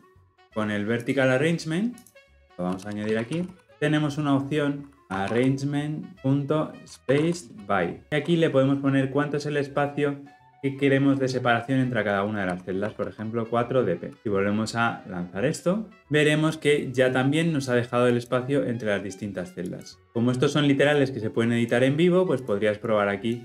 Si quieres algún espacio un poco más grande, pues puedes irlo probando sin problema de forma directa. Ejemplo, 16 dp, se separaría esto mucho más. Bueno, yo lo voy a dejar con los cuatro que hemos puesto hasta ahora. Y ahora vamos a ver Lazy Row. Todo lo que te he contado de Lazy Column se puede aplicar a Lazy Row, es el equivalente solo que con las celdas en horizontal en vez de en vertical. Así que prácticamente todo lo que vamos a ver es lo mismo y vamos a ir un poco más rápido. Así que si nos vamos aquí donde teníamos el lazy column, podemos añadir un lazy row. Una de las variaciones es que en vez de vertical arrangement lo que tiene es un horizontal arrangement y ya estaría. Lo único que para que las celdas se nos muestren bien vamos a tener que hacer unos pequeños cambios. Porque aquí estamos basando el límite de las celdas en las alturas y sin embargo la anchura era la que se ajustaba. Así que vamos a añadirle al column un modifier donde le digamos modifier.width y le vamos a poner, por ejemplo, 200 dp. El fill as width aquí ya nos aplicaría y con esto vamos, debería ser suficiente. Vamos a ejecutarlo y a ver qué tenemos. Muy bien, y aquí tenemos una fila con nuestras celdas que se puede arrastrar de forma horizontal. Perfecto. Por último vamos a ver el Lazy Vertical Grid, que además es el que vamos a dejar finalmente porque es el que mejor nos viene para esta aplicación. Así que vamos a deshacer lo que teníamos, porque el Lazy Vertical Grid también es muy parecido al Lazy Column, Ten en cuenta que en el momento de grabar el vídeo Lazy Vertical Grid es experimental y que, y que no existe el subvariante Lazy Horizontal Grid. Que si quisiéramos hacer eso nos tendríamos que crear nuestro propio layout o algo así, pero no lo podemos hacer con ninguno de los componentes de Jetpack Compose a día de hoy. Así que sustituimos Lazy Column por Lazy Vertical Grid. Una cosa que tenemos que tener en cuenta es que el Vertical Arrangement aquí no existe, así que nos vamos a tener que buscar otra forma de separar los, los items y que el Lazy Vertical Grid también requiere de un argumento que se llama cells que le identificamos cuántas celdas va a tener por cada fila. Tenemos dos opciones, podemos hacer gridcells.fixed y aquí le indicamos el número de celdas que queremos, por ejemplo 2, y vamos a ejecutarlo. Este error que tenemos aquí es porque necesitamos indicar que estamos utilizando una API experimental, que la ponemos ahí, y lo mismo nos pasa aquí. Ejecutamos esto y vemos que aquí nos está añadiendo dos celdas por, fila. ¿Qué pasaría si rotamos? Pues aquí tenemos un problema porque vamos a tener dos celdas muy grandes ocupando todo el espacio. En algunas ocasiones puede tener sentido, pero en este caso nos gustaría que mantuviera una apariencia más o menos cuadrada. Por tanto, hay que variar esto un poco. ¿Qué otra opción tenemos? Para este caso, pues si nos vamos aquí donde hemos puesto gridcells.fix, tenemos otra opción que es gridcells.adaptive. ¿Qué significa esto de adaptive? Que va a adaptar el número de celdas al tamaño mínimo que le indiquemos aquí. Es decir, si nosotros requerimos que una celda tenga 150 dp de mínimo, que es la que vamos a poner, y nuestra pantalla tiene un espacio de, vamos a poner 290, no llega a los 300, pues lo que hará será pintar una única celda con 290 dp. Si por el contrario tenemos, por ejemplo, 360 de espacio, pues pintará dos celdas de 180. Se va adaptando en función del espacio que tiene. Si volvemos a ejecutar esto, veremos que aquí en Portrait no ha habido ningún cambio, pero si lo movemos a Landscape, automáticamente nos muestra el número de celdas que caben con el espacio y los DPs mínimos que le hemos indicado. ¿Y qué pasa con el espacio entre celdas? Pues si te fijas aquí lo hemos perdido y vamos a tener que buscarnos una alternativa. Como el Lazy Vertical Grid no nos la da, al menos de momento, quizá añaden en el futuro, lo que vamos a hacer es utilizar paddings. Para ello y para conseguir los 4 DPs que teníamos antes por fuera, más los 4 DPs que teníamos en cada celda, lo que vamos a hacer es añadir un padding value de 2 DP por fuera y otro padding de 2 DP alrededor de cada celda, de tal forma que en los laterales suma 4 DP y entre celdas también los 2 DP de una celda con los 2 de la otra también van a sumar 4 dp. Así que lo cambiamos aquí, a esto le añadimos 2 dp y a cada uno de los ítems le tenemos que añadir un padding. Así que si no queremos hacer que ese padding esté siempre, por si vamos a reutilizar este medialist item en algún otro sitio, simplemente le podemos decir que le vamos a pasar un modifier. Aquí modifier, con el modifier por defecto y aquí al column le decimos que modifier igual al modifier que recibe por argumento. Con esto ya nos venimos aquí y le podemos decir modifier.padding de 2dp. Y con esto debería ser suficiente. Perfecto, volvemos a tener la misma apariencia que antes. Así que ya tienes todas las herramientas para crear listas dinámicas con Jetpack Compose. Como ves, es muy sencillo hacer lo básico que teníamos en los Recycler Views con Jetpack Compose. De hecho, el código es muchísimo más pequeño. Pero sí que es cierto que hay muchas cosas que los Recycler Views ya nos proveían que aquí las estamos perdiendo y no tenemos una forma tan directa de hacerlas.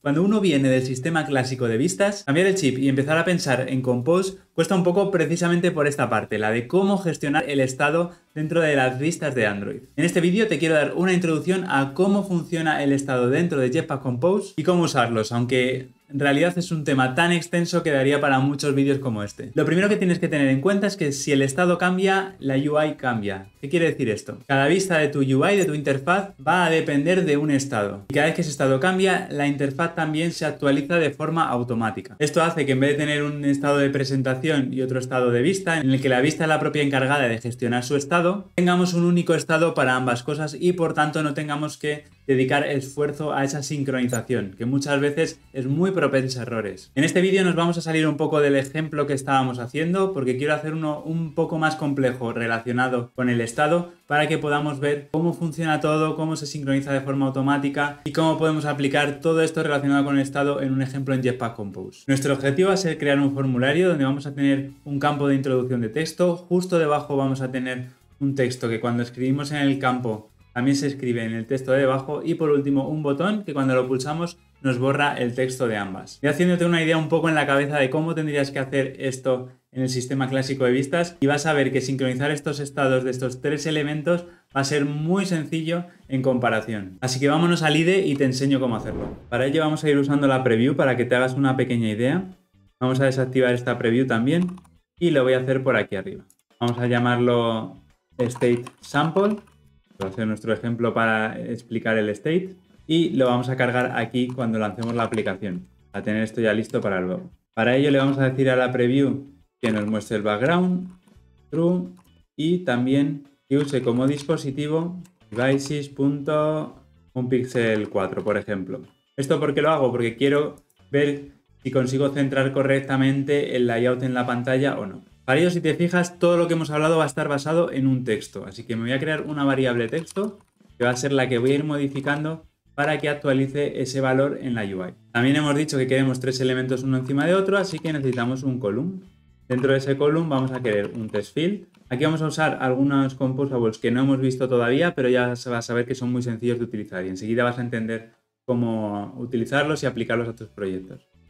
Así que en el value le vamos a poner el text y con value change le vamos a decir que cuando cambie el texto, al text le vamos a asignar el nuevo texto que, hemos recibido. Vamos a ponerlo en varias líneas. Luego por otro lado tenemos el texto, que en el text va a mostrar el texto que tenemos guardado en esta variable. Si te fijas, todas estas vistas están compartiendo el mismo estado, de tal forma que cuando ese estado se modifique, todas las vistas se van a modificar automáticamente. Y luego vamos a tener un botón, en el on click lo que vamos a hacer es vaciar el texto, así que text igual a cadena vacía. Y este botón va a tener un texto que sea, por ejemplo, text igual a clear, para que nos indique que lo que vamos a hacer es borrar el texto. Vamos a sincronizar la preview para ver lo que llevamos hasta ahora. Esto del device no está funcionando como esperaba, así que le voy a dar un width y un height manual. Width 400 dp y height 400 dp también. El dp ya va por defecto, no hay que especificarlo, y height 400. Así mejor ya vemos que no está centrado.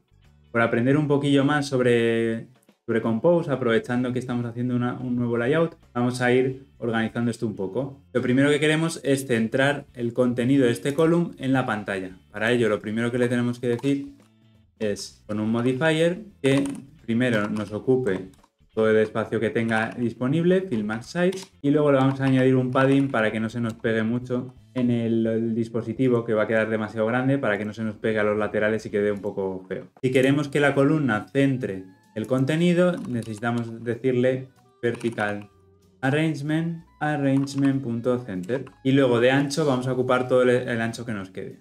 Así que para ello tenemos que decirle a esto textfield modifier igual a modifier.fill más width para que ocupe todo el ancho que, que tenga disponible, al texto igual, modifier igual a modifier.fillMassWidth, pero le vamos a añadir alguna cosa más.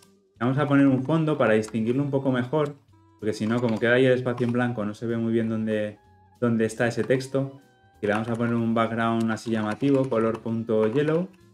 Y por último, le vamos a añadir un padding 8dp. De tal forma que no se nos pegue tanto el texto, porque si no, fíjate aquí, solo el text field solo ocupa lo que está ocupando el texto y se va a quedar eh, muy pegado todo. Y por último, el botón necesita lo mismo. Un modifier igual a modifier.fill Vamos a añadir esto en varias líneas. Además le vamos a añadir una cosa al botón muy interesante para que veas cómo activar o desactivar un botón simplemente a partir de un estado. Le podemos decir que este botón va a estar activo si el texto no está vacío. Si el texto está vacío, que no me permite pulsar sobre el botón Clear. Como ya hemos hablado anteriormente, como en, Compose, cuando necesitamos recrear una vista porque el estado ha cambiado, lo que hacemos es volver a llamar a todo el layout para que se repinte. En realidad no es a todos, sino solo a las partes que estén afectadas por ese cambio de, estado. Es bastante inteligente en ese aspecto. Pero lo que va a pasar es que vamos a tener que volver a pasar por esta instanciación del botón y por tanto el enabled se va a cambiar en función del nuevo estado del texto. Vamos a actualizar la preview, a ver qué tal vamos. Vale, con esto ya tenemos lo que buscaba. Así que vamos a ejecutarlo en el dispositivo y vamos a probarlo a ver si funciona. Me pongo sobre el edit test, que en este caso se llama test field dentro de Jetpack Compose y si intento escribir, si te fijas no pasa absolutamente nada. ¿Esto por qué es? Esto es porque para que Jetpack Compose sea consciente de que ha habido un cambio en el estado, no podemos utilizar cualquier variable como hemos hecho aquí. Necesitamos utilizar una variable de tipo state y su variante mutable state. Entonces, para definirlo, lo que le tenemos que decir aquí es que esto va a ser un mutable state of. Esta es una función que nos provee ya Jetpack Compose para crear un estado mutable y le pasamos el valor inicial. Esto nos da un error aquí, pero de momento lo vamos a ignorar porque quiero enseñarte algo más. Si nos vamos aquí, ahora el test, el value, en vez de recibir el test, recibe test.value. Para acceder al, estado que está almacenando este objeto state, tenemos que acceder a través de value. Y lo mismo para modificarlo, test.value igual a it. Lo mismo en el texto, text.value y lo mismo aquí, test.value igual a it. Esto de momento puede ser val, no vamos a modificar nada de aquí una vez que se ha creado el estado y nos falta que aquí si el test.value is not empty, entonces está enabled. Vale, volvemos a ejecutar esto y ahora ya debería funcionar, ¿no? Porque ya estamos utilizando un objeto de tipo state que son los que observa Jetpack Compose para que si hay un cambio actualice todas las pistas relacionadas con ese estado. Y ahora volvemos a intentar escribir aquí que vemos que nuevamente estábamos igual que antes. Pero esto tiene otra explicación. ¿Por qué? Si ya tenemos aquí el mutable state, ¿Qué es lo que está pasando? Pues lo que pasa es que cuando algo se modifica y modifica este mutable state, como este composable está afectado por este estado, se va a volver a repintar, es decir, va a volver a recomponerlo y por tanto va a lanzar esta función desde el principio. Va a ejecutar esta línea y por ello el mutable state se va a crear nuevamente desde cero con la cadena vacía y por ello eso es lo que va a cargar tanto en el texto como en el, test field. ¿Cómo editamos esto? existe una función en Jetpack Compose que se llama remember. Remember lo que va a hacer es justamente lo que necesitamos. La primera vez que pasamos por aquí nos va a crear el estado mutable y las siguientes que pase lo va a recuperar simplemente, no va a volver a crear uno nuevo. Por tanto, si volvemos a ejecutar esto pero con remember, ahora veremos que ya todo sí que funciona. Fíjate que yo ahora puedo escribir aquí y el texto aparece, el, se repite dentro del test view de debajo y si yo pulso clear se borra y cuando está todo el texto vacío, el botón se desactiva. Yo puedo escribir, puedo borrar con el backspace y el botón nuevamente se desactiva. Así que si te fijas, la forma de sincronizar todas las vistas es súper sencilla gracias a que están compartiendo el mismo estado. Pero aún podemos simplificar todo esto mucho más. Si te fijas aquí, cuando estamos haciendo el remember, nos obliga luego, como esto está devolviendo un mutable state of, realmente esta es la parte importante, tenemos que acceder al valor del estado con el test.value y esto es un poco repetitivo, la verdad. ¿Cómo podemos hacer para mejorar esto? Pues existe otro remember que en realidad es un delegado de propiedades que nos va a permitir saltarnos esa parte del punto value. Simplemente sustituimos el igual por, un by y necesitamos unos imports un poco diferentes. Le damos alt enter y ya nos ha incluido las importaciones que necesitamos. Estos imports son un poco complejos, lo que pasa es que como ahora estamos interactuando con una propiedad directamente cuando queramos modificar el valor realmente esto lo tenemos que hacer mutable para que por detrás luego llame al punto value del mutable state of y en el getter lo recupere. Necesitamos para ello importar también el setter y ten un poco de cuidado porque ahora ya el IDE lo va haciendo un poco mejor, pero suele dar problemas estas importaciones. Para que esto funcione tenemos que asegurarnos de que tenemos importado el get value y el set value. Yo aquí lo estoy haciendo a mano, pero en realidad no hace falta porque ya me ha importado el runtime.asterisco pero que sepas que si no te está funcionando el by remember, necesitas añadir estos dos imports. De todas maneras, en la descripción te voy a dejar el enlace al artículo escrito y si quieres puedes ir allí a copiarlo. Esto los voy a borrar porque no me hacen falta, pero ahora si te fijas necesitamos modificar un poco esto. Donde antes hacíamos test.value, ahora simplemente hacemos test para recuperar el valor. En el setter igual, solo que se da text igual a IT.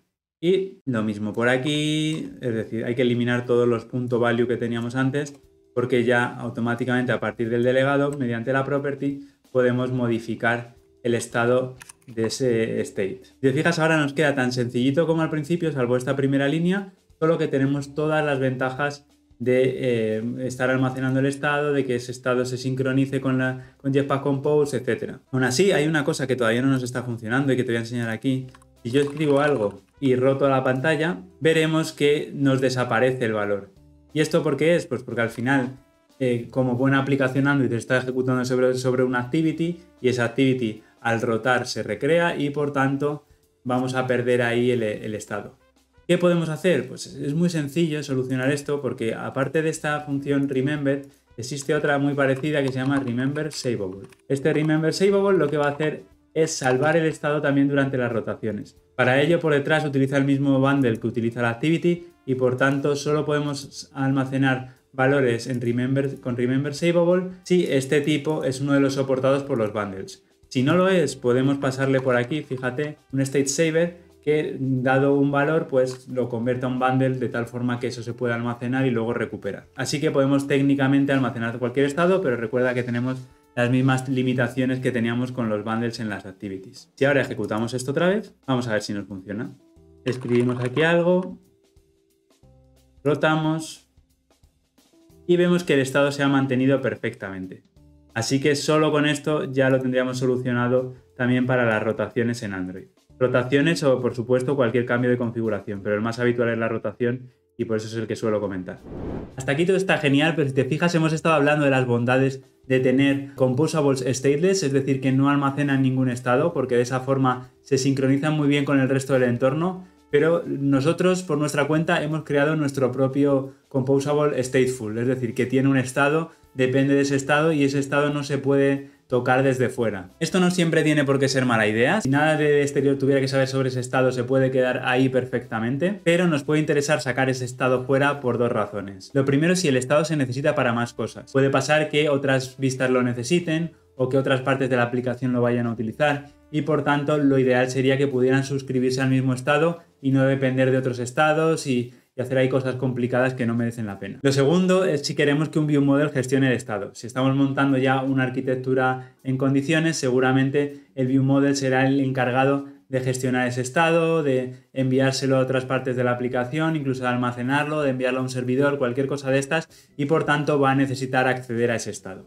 Para ello hay una técnica conocida como state hoisting, que he decidido traducir no sé si muy bien o muy mal como elevación de estado, que consiste en extraer ese estado de las vistas y que el control del estado recaiga en un elemento superior dentro de la jerarquía. Lo bueno de esta técnica es que es muy procedimental, no hay que pensar mucho para ejecutarla, pero eso sí requiere un poco más de código del que tenemos hasta ahora. ¿Y en qué consiste? Pues consiste en, en vez de crearnos el estado dentro de nuestro composable, lo sustituimos por dos argumentos. Uno de ellos es el que nos proporciona el valor y otro de ellos es una lambda con la que podemos modificar ese valor. Si recuerdas, esto ya lo hemos visto antes, el test field está haciendo exactamente eso.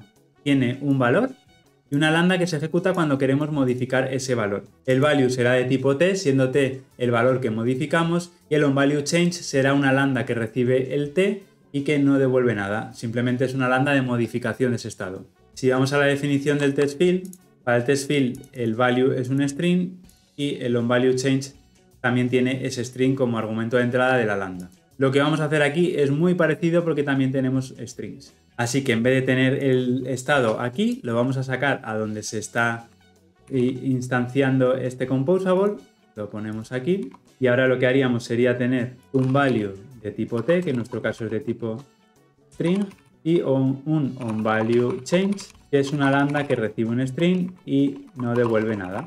Aquí donde antes teníamos text, tendríamos un value y el onValueChange llamaría al onValueChange que estamos recibiendo por argumento. Lo mismo para el texto, aquí sería el value, aquí también se modifica con la cadena vacía, onValueChange de cadena vacía y value is not empty. Por supuesto, este value y un value change lo podemos llamar como queramos, pero si queremos generalizar y hacerlo siempre así, no habría demasiado problema. Si te fijas, ahora ya no podemos usar esto como preview porque le estamos pasando argumentos al composable. Y las previews no permiten que las funciones pasen argumentos. Como ya no lo vamos a utilizar, simplemente voy a quitar esta línea y ya estaría. Voy a ocultar también la parte de la preview, que ahora no la estamos usando. Y lo único que nos faltaría sería pasarle por aquí el value y por el otro lado el onValueChange. Así que le pasamos text y por aquí definiríamos la lambda que, dado un it, pues hace text igual a it.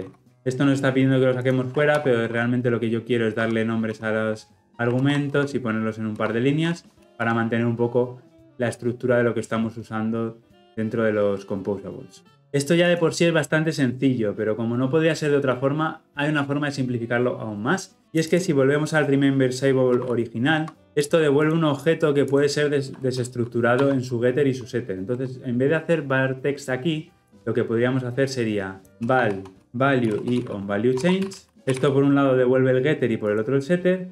El getter es el donde estamos recuperando el valor aquí en value y el setter sería en onValueChange. De esa forma lo podemos hacer así directamente sin tener que andar complicándonos un poco más en la forma de escribirlo.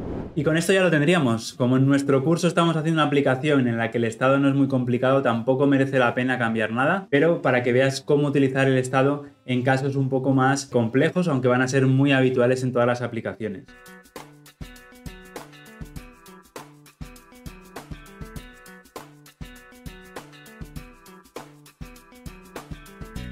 Desde hace muchos años, uno de los elementos más identificativos en las aplicaciones Android ha sido la barra superior. Se la ha conocido con muchos nombres, Action Bar, Toolbar, App Bar. Originalmente esa barra se incluía por defecto en todas las activities y lo único que podíamos hacer era ocultarla mediante los temas. Con la llegada de Material Design, con las animaciones y con ese reposicionamiento de, eh, de, la toolbar que podíamos hacer, surgió la necesidad de que esa toolbar se pudiera poner en cualquier parte del XML y por tanto desacoplarla y poder ponerla en cualquier parte de, de la pantalla y no solo donde nos dictaba la activity. Pero ¿cómo usamos la toolbar o la app bar ahora en Compose? En este artículo te voy a explicar esto, vamos a ver cómo funciona la app bar, también vamos a ver cómo posicionarla en nuestra pantalla gracias a otro componente que se llama Scaffold. Es un layout que te va a ser de mucha ayuda para seguir muchas de las guías materiales sin necesidad de crearlo todo desde cero. Así que vente que vamos a verlo. Como hemos hablado anteriormente, el tema por defecto va a mostrar la barra en la parte superior de la activity si no le decimos lo contrario. Lo primero que tenemos que hacer es decirle a la activity que nos vamos a encargar nosotros de colocar la app bar. ¿Y eso cómo se hace? Pues es muy sencillo, en el Android Manifest, en la activity,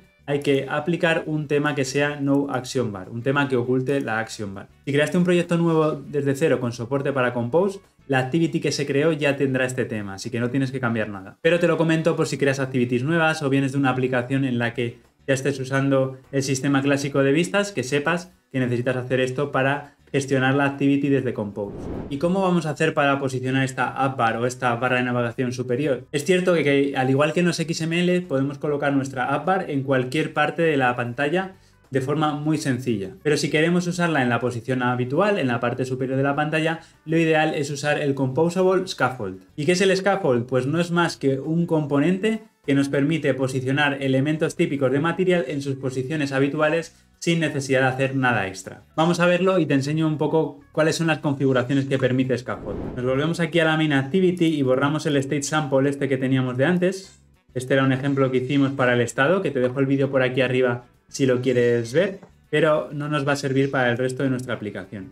Así que lo voy a borrar y vamos a crearnos aquí nuestro scaffold. Este scaffold tiene una serie de argumentos que, bueno, ahora veremos, pero la idea es que dentro del scaffold vamos a pintar nuestro media list. ¿Y qué nos permite configurar scaffold? Vamos a entrar en su definición y lo vemos. Como ves hay un montón de cosas, pero te voy a resumir. Uno de los primeros puntos importantes es la top bar. Aquí es donde vamos a posicionar nuestra barra superior de navegación. Puede ser cualquier tipo de composable, si te fijas no es más que una lambda que podemos definir nosotros qué composables queremos que pinte dentro, pero lo habitual será utilizar una top up bar. Luego esa es justo la que vamos a ver, así que luego lo veremos a fondo. Podemos hacer lo mismo con una bottom bar, una barra de navegación inferior, que o bien será una bottom up bar, que es muy similar a la que vamos a, a posicionar en la parte superior, pero con algunas particularidades, o también podemos poner una bottom navigation, que sería la típica navegación por botones que tenemos en muchas aplicaciones hoy en día. Luego también tenemos el Snack Bar Host, que nos va a ayudar a mostrar snack bars, los típicos mensajes que aparecen en la parte inferior como un texto con un fondo, los que han venido a sustituir a los típicos toasts que usábamos anteriormente.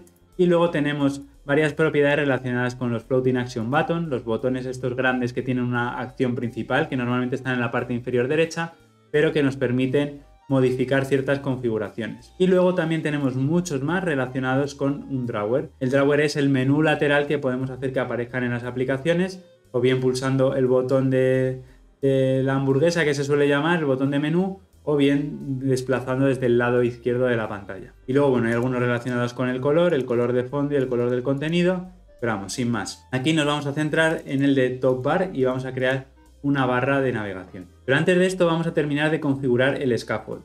Hay una cosa que no se nos debe olvidar nunca, que es que si te fijas por aquí, estamos recibiendo unos padding values. ¿Y esto qué son? Pues uno, es un padding que calcula el scaffold en función de los elementos que estamos mostrando en pantalla.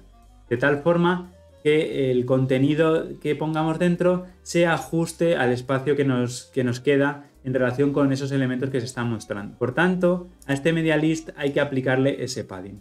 Para ello, nuevamente, necesitamos pasarle un modifier, así que vamos a definirlo aquí, modifier que por defecto va a usar el modifier genérico, y luego en el Lazy Vertical Grid, que es el composable principal, el composable padre del media list, vamos a aplicar este modifier. Modifier igual a modifier. Así ya desde fuera le podemos asignar estos padding values, que van a ser modifier igual a modifier.padding.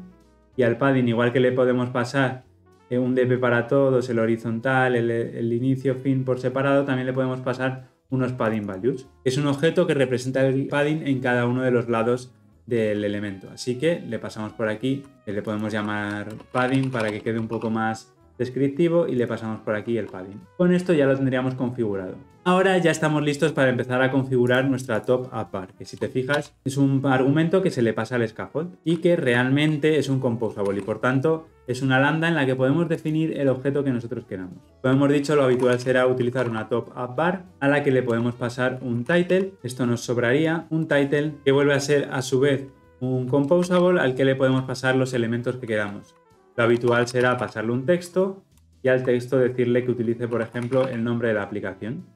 String resource, r.string.appname. Vamos a poner esto en una nueva línea para que se lea un poco mejor y porque luego vamos a añadir más argumentos a esta top up bar. Y lo vamos a ejecutar para ver si ya podemos ver nuestra top up bar. Esto es del ejemplo anterior, así que ya no aplica, pero aquí ya vemos la aplicación y que tenemos la toolbar en la parte superior, o la app bar o como la quieras llamar. Lo hemos visto, aunque me gusta repetirlo porque se va a ver mucho dentro de Jetpack Compose, tanto la top bar como el title aceptan una lambda. Esto es lo que se denomina Slot API. La API de Compose nos deja huecos en los que podemos añadir lo que queramos, en vez de asumir que en ese hueco irá un objeto de un tipo concreto. Por ejemplo, el title no te obliga a que esto sea de tipo test. Puedes añadir la complejidad que quieras aquí. Un ejemplo muy sencillo podría ser, por ejemplo, crear un row, una fila, añadir este texto, añadir luego un spacer. Un spacer no es más que un componente que lo único que sirve es para dejar un espacio y le podemos añadir un, width de, vamos a ponerle 16 dp, por ejemplo, y le podríamos añadir después un icon y le vamos a poner, pues, por ejemplo, icons.default.android para que nos muestre el icono de Android. Y tenemos que poner el content description.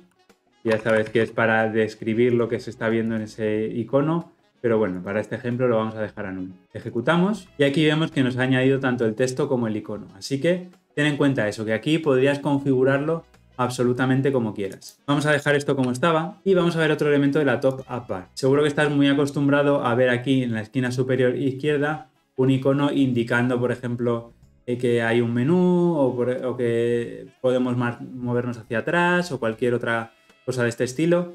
Eso se puede hacer muy sencillo con un Navigation Icon. El Navigation Icon nuevamente puede tener dentro lo que quiera, aunque lo que se nos recomienda para que la Top App Bar pueda hacer muchas cosas por defecto por nosotros es un Icon Button. El Icon Button es un botón que contiene un icono dentro. En el on-click ahora mismo no vamos a hacer nada, lo que podemos hacer nuevamente dentro es añadir cualquier tipo, aunque el icon button obviamente espera un icono aquí dentro. Así que si utilizamos un icono, todo funcionará de forma más sencilla. Aquí nuevamente le vamos a dar un image vector que va a ser icons.default.menu, por ejemplo, y content description a. Lo ponemos en dos líneas para que se vea mejor y reejecutamos. Y aquí vemos que nos ha aparecido el icono de menú y que es clicable. Lo único que como no estamos haciendo nada en el on click, no ocurre nada, pero ya se ve aquí el ripple incluso del clic, etc. En nuestra aplicación esta acción no la necesitamos para nada, así que la voy a quitar, pero ya sabes cómo ponerla y cómo realizar una acción cuando se haga clic en ella. Otra parte muy importante es el de las acciones. Seguro que vas a necesitar añadir acciones a la barra superior. Esos iconos que cuando haces clic sobre ellos realizan una acción. Así que aquí te voy a explicar cómo funcionan. Al final la sección de acciones no es más que una row, una fila, así que podemos añadir los elementos que queramos. Y en Actions, si te fijas, esto nos provee un row scope, por tanto es una row clásica de las que estamos acostumbrados.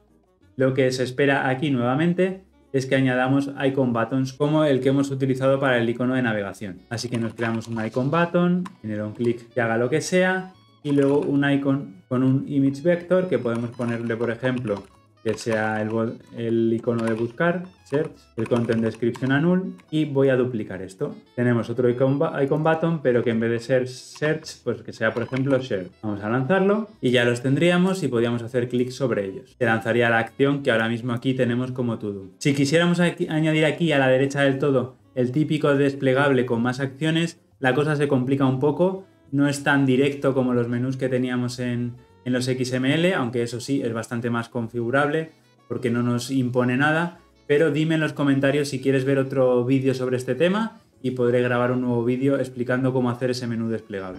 Y con esto terminamos de explicar cómo funciona tanto el scaffold como la top app bar y hemos visto cómo podemos montar nuestra barra de navegación en la parte superior de las aplicaciones.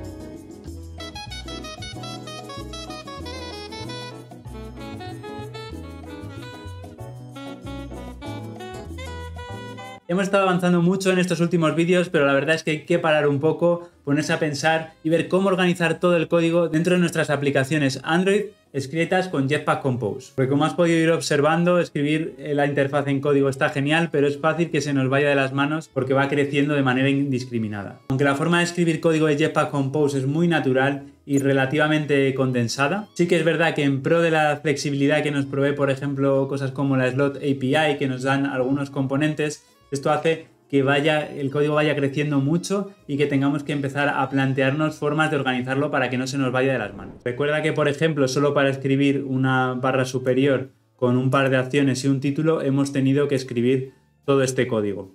Aunque ya hemos extraído algunos componentes, la realidad es que todavía nos falta mucho por hacer. Así que en este artículo te voy a dar 5 consejos para que el código de Jetpack Compose no se te vaya de las manos. Consejo número 1. Crea un composable con la base de tu app. Hay una serie de configuraciones que si quieres que tus previews las muestren correctamente, las vas a tener que estar repitiendo todo el tiempo. Lo ideal es extraer un composable que defina esa configuración y reutilizarlo en todos los sitios. En nuestro caso, el código a extraer es toda esta parte, la que aplica el tema y también la que aplica una surface para mostrar el color de fondo. Lo que nos gustaría es, en vez de tener este código, tener simplemente My Movies App y que todo el contenido de dentro ya eh, se aplique esos dos pasos que hemos hablado. Para ello nos tenemos que crear esta función, My Movies App, la vamos a crear, recibe una función que va a ser el content y esta función va a ser de este tipo, que ni recibe ni devuelve nada. Para definir que este contenido va a ser de tipo composable, es decir, que vamos a poder pintar composables dentro, Simplemente tenemos que utilizar la anotación composable justo delante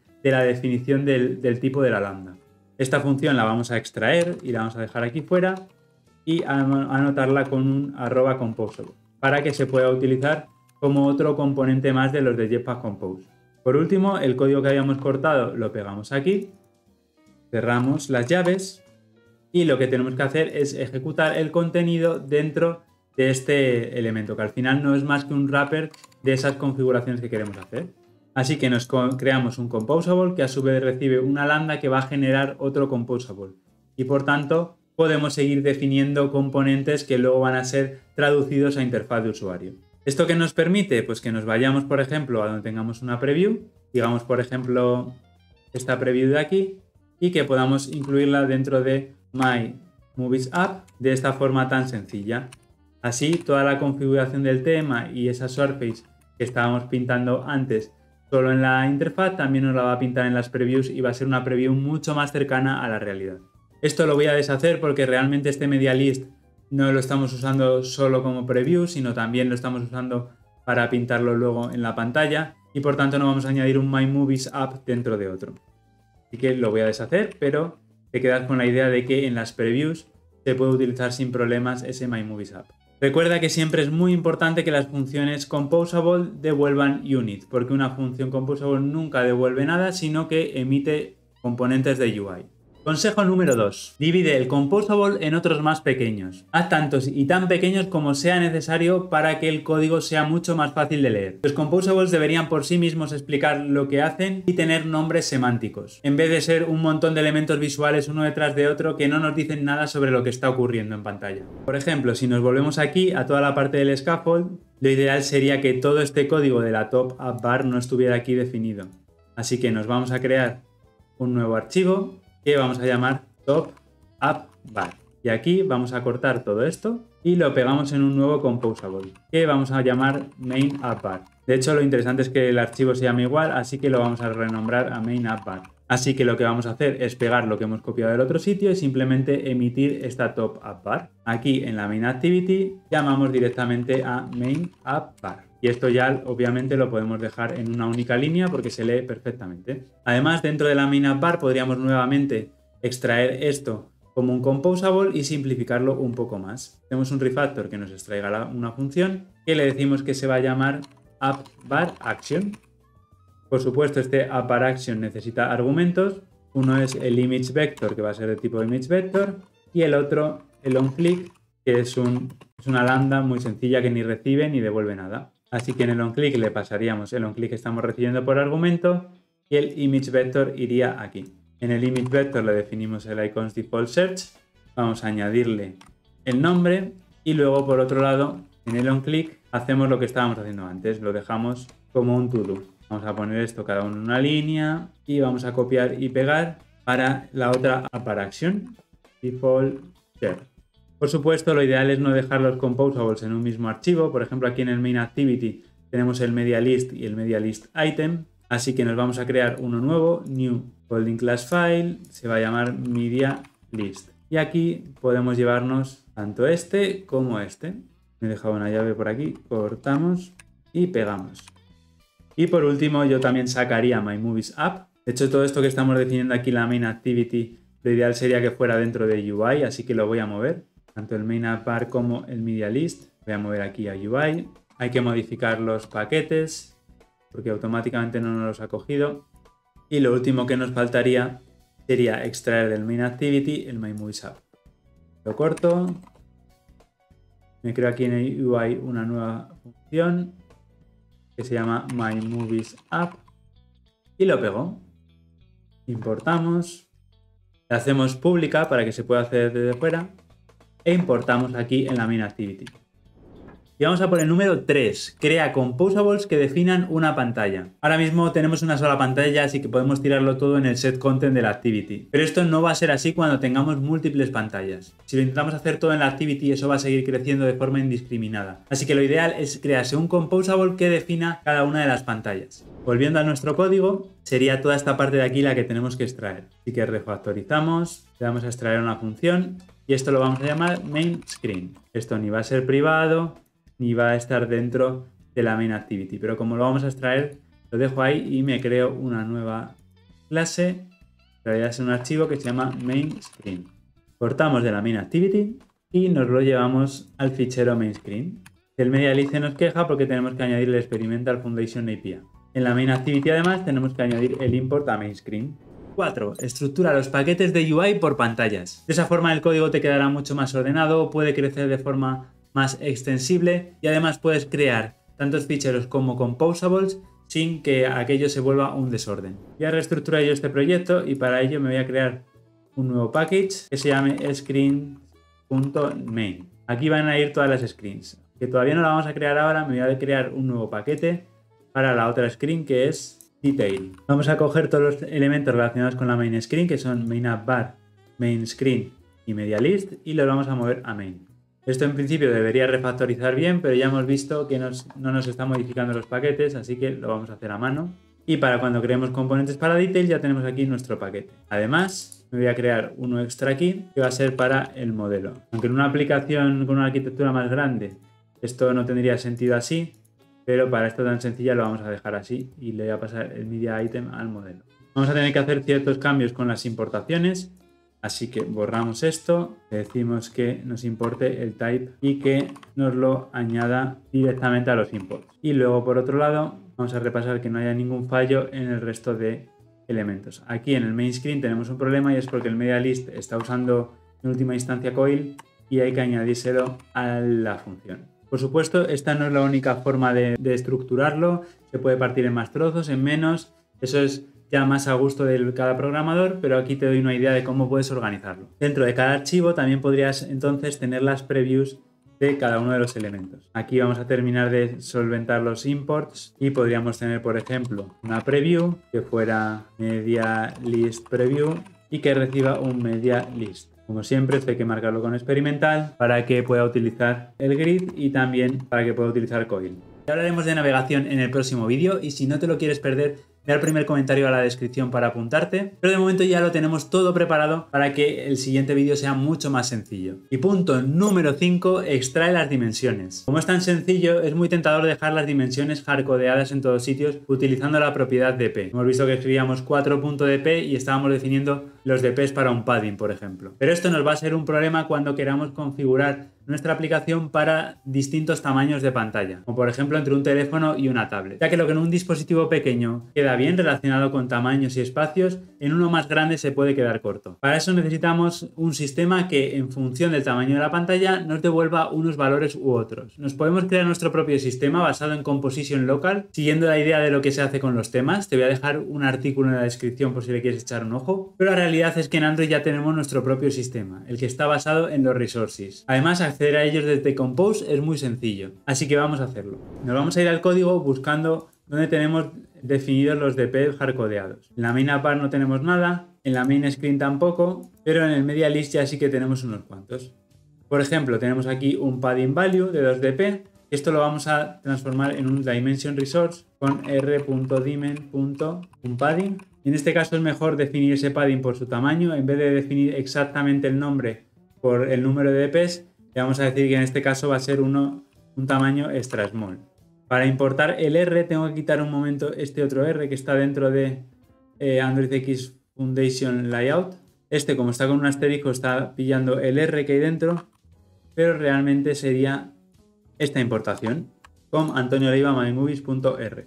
Allá podemos descomentar este import y todo debería ir más o menos bien. Lo único que nos falta es crear esas dimensiones. Por ejemplo, para Padding Small le decimos que cree un Dimen Value Resource que sea de 2dp. Hacemos lo mismo con las celdas y a estas las podemos llamar eh, dimension resource r.dimen.shell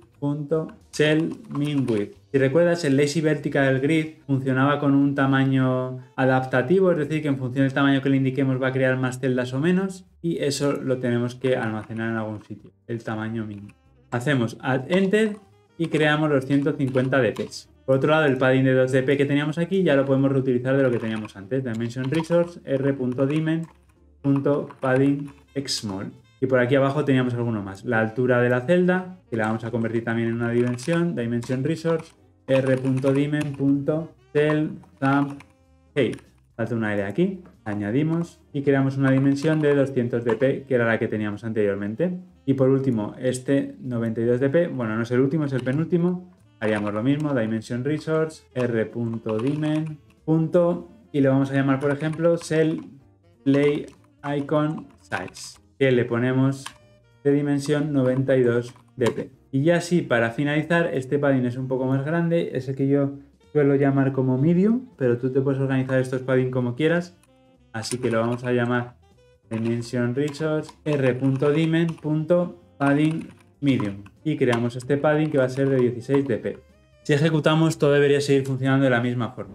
Al final, una de las grandes ventajas de escribir código de UI en Kotlin es que podemos aprovechar todas las funcionalidades del lenguaje para organizar y reutilizar ese código. Con los XMLs estábamos mucho más limitados. Es por eso que nos podemos crear componentes genéricos que nos permitan reutilizar al máximo ese código que ya hemos creado para otros casos de la aplicación. Ya lo tenemos todo listo para poder empezar a realizar la navegación en nuestra aplicación.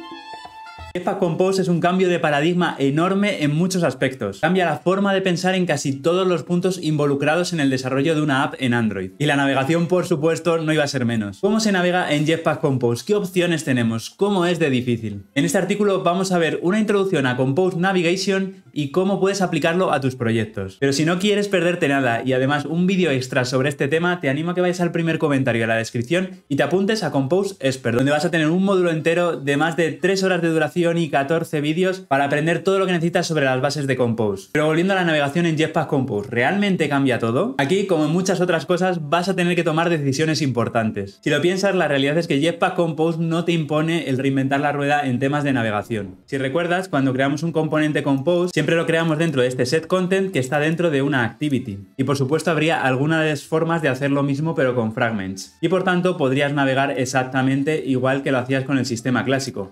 Podrías en algún punto hacer Start Activity y navegar a donde quisieras. Esto te lo cuento sobre todo por si ya tienes una aplicación que esté escrita con el sistema clásico de vistas y quieres empezar a utilizar Jetpack Compose. De esta forma podrías integrar Compose en cualquier pantalla dentro de tu aplicación. Pero por supuesto existe otra opción que involucra exclusivamente a Compose. Gracias a la librería Navigation Compose podemos hacer navegación entre composables. Si recuerdas, en la forma tradicional con el sistema clásico de vistas, desde hace unos años ya tenemos otra forma de realizar la navegación que es con la librería de Jetpack Navigation. Con ella, mediante un grafo de navegación que definimos en un XML, podemos navegar entre fragments o activities de forma mucho más sencilla y más estructurada. Incluso nos permitiría tener una app con una única activity y que toda la navegación se haga entre fragments. Existe una variante para Jetpack Compose que aún está en la última alfa de Navigation, pero que es posible que cuando veas este vídeo ya haya una versión final, que se llama Compose Navigation. Con ella podemos conseguir el equivalente a Single Activity, solo que en vez de navegar entre fragments, navegaremos entre composables. Y esto es lo que te voy a contar hoy. Vámonos al código que te voy a empezar a enseñar cómo se utiliza Compose Navigation. Lo primero que vamos a necesitar es irnos al build.gradle y añadir la dependencia de Compose Navigation. Actualmente, en el momento de grabar este vídeo, estamos con la 240 Alpha 09. Como Navigation Compose es una parte de Navigation, por eso tiene esta versión tan alta a pesar de ser la primera versión que se está lanzando. Sincronizamos nuestro proyecto para que nos descargue la librería y ya lo tendríamos listo para trabajar. Una cosa que debes saber antes de seguir es que al igual que con Navigation podíamos utilizar un diseñador para generar el grafo por el que íbamos a navegar, en Navigation Compose no existe esa opción. Lo vamos a tener que hacer todo mediante código con un DSL que vas a ver que es muy fácil de utilizar. Hecha esta aclaración, seguimos. Una vez que hemos eh, incluido la dependencia, necesitamos configurar Navigation Compose para poder utilizarlo. Para ello, de momento nos vamos a ir a la main activity, luego extraeremos esto un poco. Nos vamos aquí y lo primero que vamos a necesitar es un nav host controller. Este es el controlador que nos va a permitir realizar la navegación. Para que no se nos duplique, tenemos una función remember que ya nos provee la propia librería. Todo este tema de remember está relacionado con el estado, que ya hice un vídeo que te voy a dejar por aquí por las tarjetas para que puedas echarle un vistazo si no lo viste. Así que lo que tenemos que hacer es val navcontroller igual a remember navcontroller. Esto nos va a dar un controlador que no se nos va a duplicar aunque repliquemos la pantalla por lo que sea. Por tanto, la primera vez se genera ese controller y la siguiente nos devolverá siempre el mismo. La segunda parte es el navhost. El navhost es el componente de Navigation Compose que va a definir el grafo de navegación. En ese navhost le vamos a decir qué navcontroller tiene que usar y también la pantalla de origen y las pantallas a las que se puede navegar. ¿Cómo se define navhost? Pues aquí simplemente hacemos navhost. Esto del main screen lo vamos a quitar de momento porque luego verás cómo se hace. Y en el nav controller vamos a añadir un nav controller y esta parte del grafo no la vamos a definir aquí. Vamos a definir un start destination que lo vamos a llamar main, por ejemplo. Este navhost es a su vez un composable que va a ser el encargado de pintar el composable correspondiente en función del estado en el que nos encontremos. ¿Y cómo se definen esas posibles pantallas, esos composables? Es muy sencillo, lo único que necesitamos es utilizar la función composable, decirle por aquí cuál es la ruta de navegación, vamos a utilizar main para la ruta principal y luego aquí le definimos cuál es el composable que queremos que nos pinte cuando estemos en esa ruta de navegación. Main screen. Luego vamos a tener también una pantalla de detalle. Para que recuerdes un poco por dónde íbamos de los vídeos anteriores, teníamos un listado de imágenes. Puede que veas que las imágenes difieren de otros vídeos porque me estaba fallando el API de imágenes de, de placeholder, estoy utilizando otra, pero el resultado es el mismo.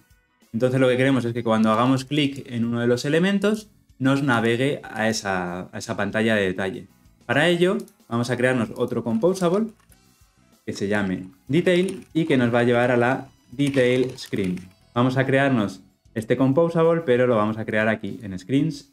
Voy a crear un nuevo paquete, new package, y lo vamos a llamar en vez de main detail. Nos vamos a crear aquí un nuevo archivo que se va a llamar detail screen, que va a ser un archivo porque va a incluir una función composable que va a ser detail screen. De momento vamos a crear algo sencillo. Vamos a crearnos una, lo vamos a ir viendo aquí en el, en el diseño. Nos creamos un box que va a tener un texto.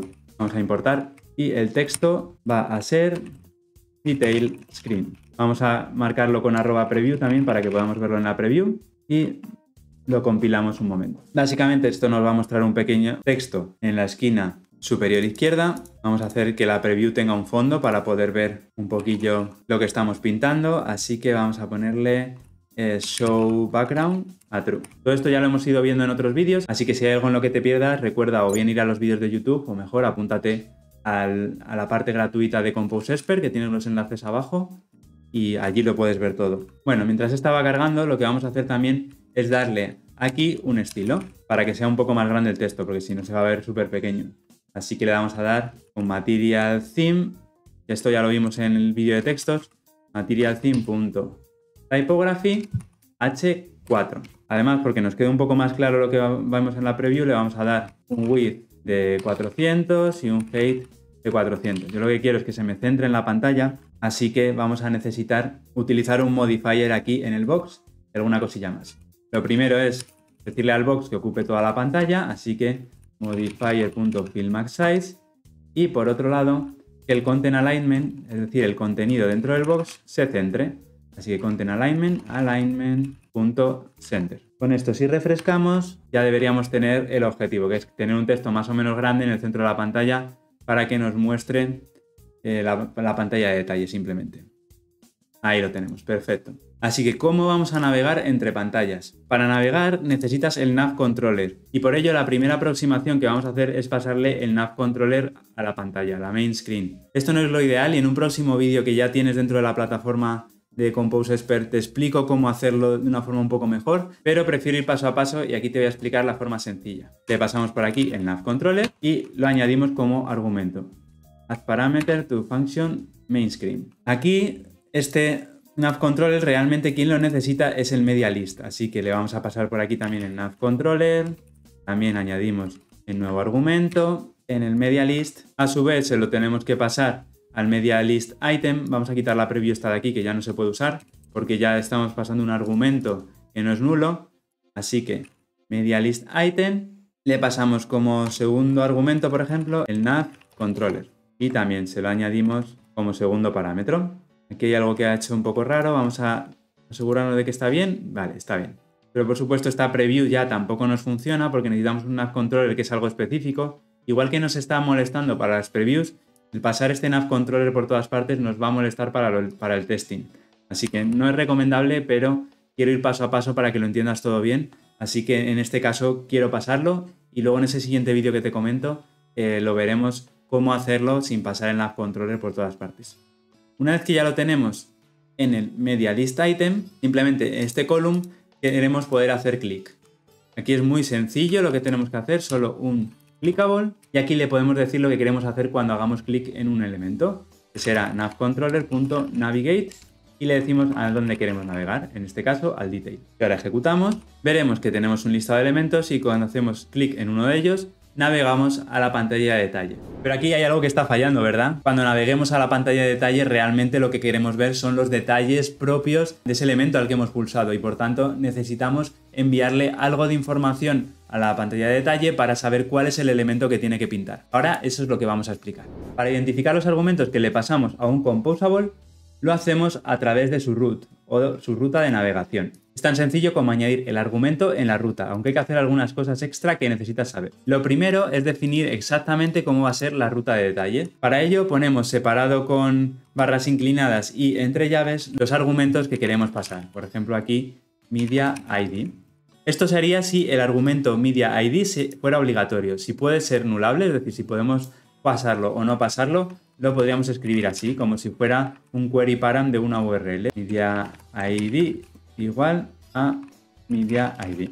En nuestro caso, como va a ser obligatorio, porque si no, no podemos pintar nada en el detalle, lo dejábamos como lo teníamos anteriormente. Por defecto, los argumentos son de tipo string, pero podemos configurar el tipo de la siguiente forma. Para ello tenemos que añadir un nuevo argumento al composable que es arguments. Voy a ponerlo en líneas separadas para que se lea mejor y aquí nos creamos un listado de nav argument que le pasamos el nombre del argumento, media id habíamos dicho, y el tipo se indica así, type igual a navType.intType.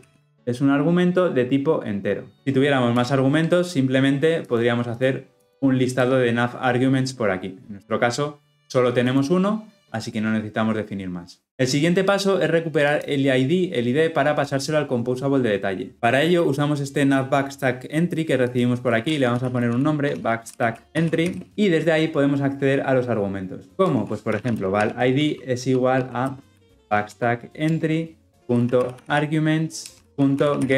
int. La clave es media ID.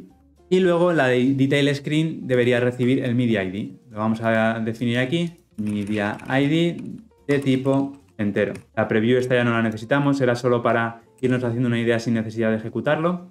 Así que la quitamos y aquí le pasaríamos el ID. ¿Qué problema tenemos? Pues que este ID, si te fijas, los argumentos es un elemento nulable y por tanto podría devolver valores nulos. Nosotros sabemos que no porque lo estamos obligando en la URL de navegación. No podríamos haber navegado esta ruta si no le hubiéramos pasado un media ID. Así que estamos seguros de que aquí lo vamos a tener. Podemos hacer esto con una doble exclamación, pero la verdad que una forma más semántica de hacerlo es utilizar la función require donde le indicamos que el ID no puede ser nulo. De esa forma, a partir de este punto ya se trata como un no nulo. Aquí incluso si quisiéramos, le podríamos añadir un mensaje diciendo el por qué esto no puede ser nulo. Pues no puede ser nulo porque el detalle siempre necesita un ID. Y esto cuando se ejecute, si el ID viene a nulo, nos fallará y nos mostrará este mensaje. En mi caso lo voy a simplificar y lo voy a dejar así, pero vamos, que sepas que existe esa opción. Esto, por supuesto, se podría simplificar de alguna forma con funciones de extensión y en el vídeo que te comento también que está dentro de la plataforma te explico cómo hacerlo. Ya lo único que nos quedaría es primero irnos al Media List Item y aquí en el clickable pasarle por la ruta de navegación el Media ID. Para ello haríamos $mediaitem.id. Y por otro lado, nos podríamos ir a la detail screen y decirle que en vez de solo mostrarnos detail screen, pues que nos muestre también el media ID para saber que estamos navegando al detalle correspondiente. Así que $media ID. Vamos a volver a ejecutar esto y cuando hacemos clic, por ejemplo, en el title 4, nos lleva a la detail screen 4. Si hacemos clic en el title 3, nos lleva a la detail screen 3. Así que todo está funcionando a la perfección.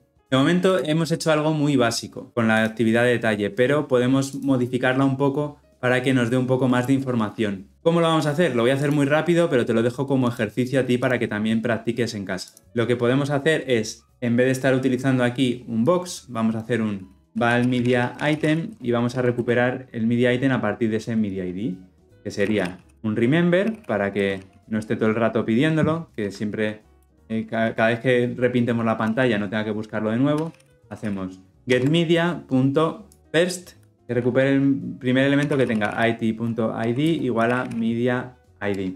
Doble igual esto. Una vez lo tenemos, le diríamos scaffold y vamos a pintar una barra superior, top bar.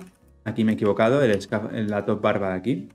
Igual a top bar con un title. Vamos a importar la top bar. Esta va a tener un título que es igual a text con un texto, cortamos, que es igual a mediaitem.title para que muestre el título del media item en la toolbar. Voy a quitarme aquí tanto panel para que lo veas mejor. Y luego aquí simplemente lo que vamos a mostrar es la imagen con el icono de dentro.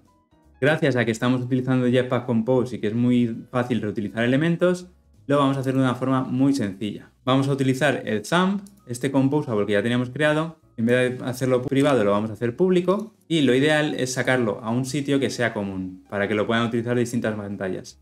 Vamos a llamar por ejemplo el paquete common. Nos creamos un archivo que se llame thumb y aquí nos llevamos esta función entera a thumb. Vale, ya la tenemos extraída y nos la llevamos a common. Vamos a optimizar los imports aquí para que no haya warnings. Y en la detail screen hacemos thumb de media item. Aquí nos aparece un warning porque necesitamos añadir el coil API, que está utilizando thumb, que es una función experimental, y ya estaría. Siendo un poco puristas, aunque aquí no lo vamos a hacer, si recuerdas, cuando hablamos del scaffold dijimos que el padding value se tenía que aplicar al primer componente. Así que aquí le tendríamos que pasar un modifier y aplicarle los padding values. O si quieres como práctica lo vamos a hacer porque es muy sencillo. Simplemente le pasamos un modifier.padding. Vamos a poner aquí padding y se lo pasamos por aquí. A esto necesitamos añadirle un parámetro a la función thumb y nos vamos aquí y le decimos que como argumento por defecto utilice modifier. Y por supuesto esto se llama modifier, no padding. Aquí en vez de aplicar el modifier, el objeto eh, básico, utilizamos el modifier específico. Y con esto ya estaría. Ejecutamos. Esto no lo ha añadido por defecto, hay que borrarlo. Aquí no queremos añadir ningún padding extra. Utilizamos el, que, el de los valores por defecto. Como ves, gracias a Compose es muy sencillo reutilizar componentes. Tenemos aquí el mismo thumb que estábamos usando antes con su icono y con su imagen y si hacemos clic en uno de ellos lo vemos aquí en la parte superior. Sin hacer nada más que extraer una función estamos utilizando el mismo componente varias veces sin problema. Y ya estamos navegando de la, la pantalla principal a la de detalle y mostrando el detalle de cada uno de los elementos. Si te fijas en la toolbar también muestra el título. En vez de mostrarlo en la parte inferior como hacíamos aquí, lo mostramos directamente en la toolbar, la app bar o como la quieras llamar. Recuerda que de todas estas cosas, de scaffold, de modifier, etcétera, ya hay vídeos relacionados, así que los puedes ir viendo para si no los has visto antes para, o para refrescar algunos de los conceptos. Muy bien, pues ya tenemos todo funcionando, pero la realidad es que hay algunas cosas que son bastante mejorables. Por ejemplo, el nav controller no debería atravesar toda nuestra jerarquía de composables, como ya hemos dicho, porque nos va a dar problemas tanto para los tests como para las previews. Segundo, tenemos hardcodeadas las rutas de navegación. Si te fijas aquí, hemos hardcodeado el main, el detail, el media ID está repetido en varias veces, el, el main también por aquí. Si cambiáramos alguna cosa de estas, sería bastante complicado no equivocarnos y no repetir o, olvidarnos de en algún sitio actualizar el valor, etc. Esto no es muy escalable y lo ideal es modelar esa navegación en objetos de alguna forma. Y también no hemos visto cómo navegar hacia atrás desde la activity de detalle hacia la main activity, el típico botón de la flecha hacia atrás que vemos en las, en las app bars en las aplicaciones típicas de Android. Todo esto te lo explico en un vídeo que va a ser exclusivo de mi formación de Compose Expert a la que te puedes apuntar en el primer comentario en la descripción. Así que te animo a que vayas allí porque ese primer módulo y ese vídeo en particular es totalmente gratuito.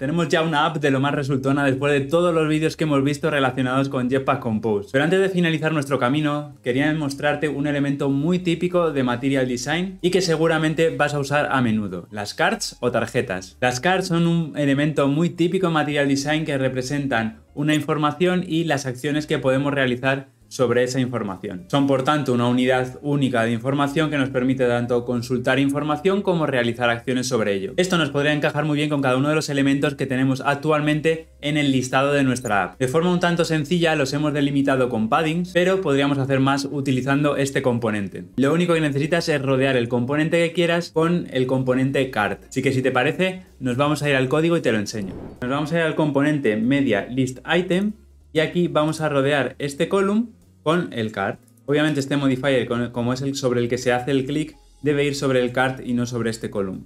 Así que lo vamos a cortar, quitamos esa información del column y ahora añadimos un card aquí que rodee al column. Para ello incluimos esto dentro del card y el modifier del card es el que vamos ahora a utilizar con el clickable que teníamos antes. Ahora vamos a ejecutarlo para ver las cards en acción.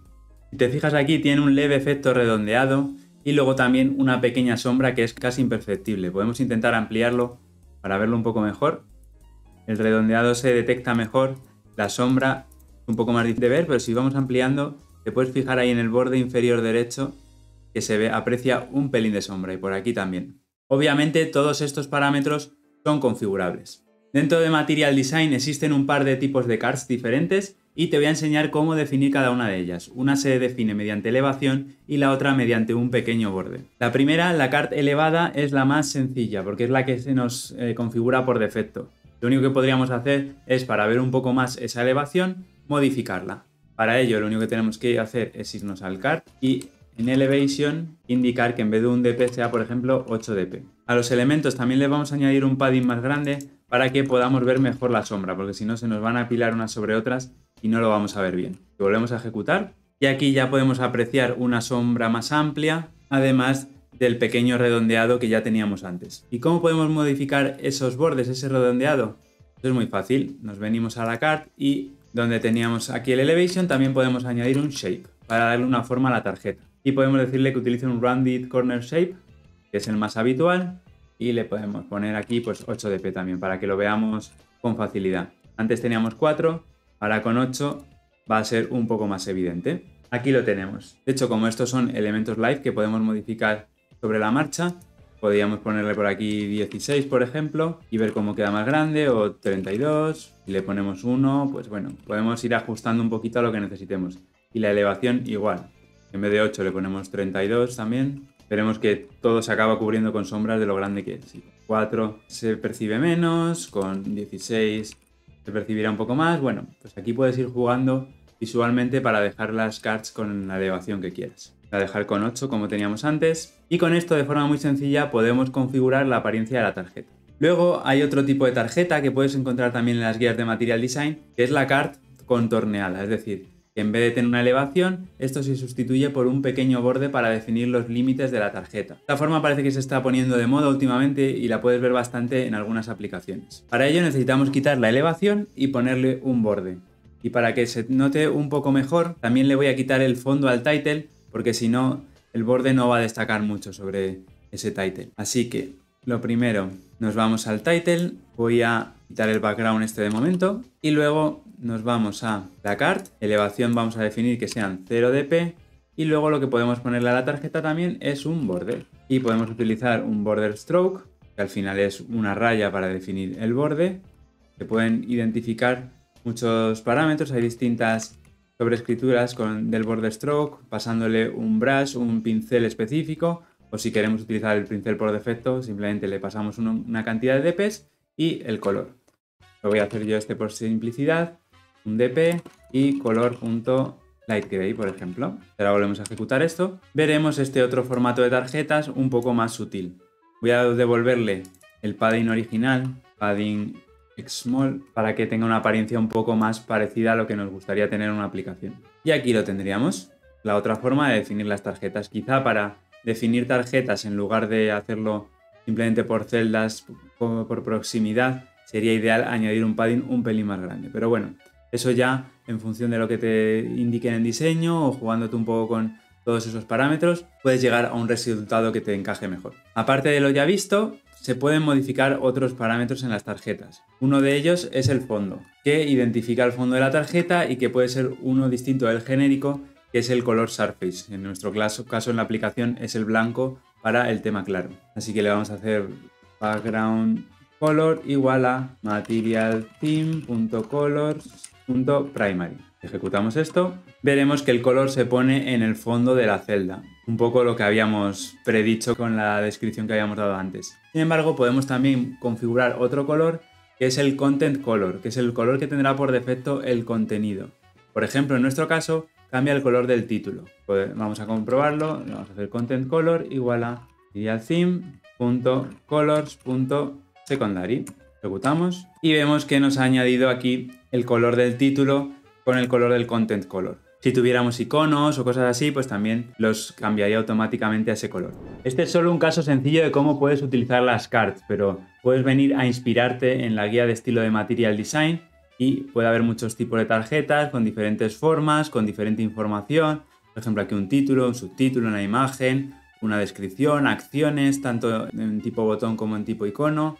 Y bueno, pues puedes echar un vistazo aquí para ver cuáles son las diferentes opciones. Si te fijas, también da una opción de tarjeta directamente sin, sin borde, con el borde que hemos visto con las tarjetas contorneadas, o incluso con sombras, como vemos aquí, con divisores dentro de la tarjeta. Bueno, hay un montón de información que puedes ver aquí para hacerte una idea de todo lo que se puede llegar a hacer con tarjetas. Y también de todo lo que no se debe hacer. Por ejemplo, esto en la guía de Material Design lo verás mucho, que es que nos da información sobre cómo utilizar un componente y cómo no utilizarlo. Aquí también trata el tema de la elevación, gestos, etc. Bueno, te lo dejo también el enlace en la descripción por si quieres echarle un vistazo que sepas que lo tienes aquí para aprender más sobre cómo utilizar las tarjetas. Como ves hay mucha información porque es un elemento muy importante y muy representativo de Material Design. En el siguiente vídeo vamos a ver los temas y cómo estos afectan a la apariencia de las tarjetas entre otros componentes dentro de la UI.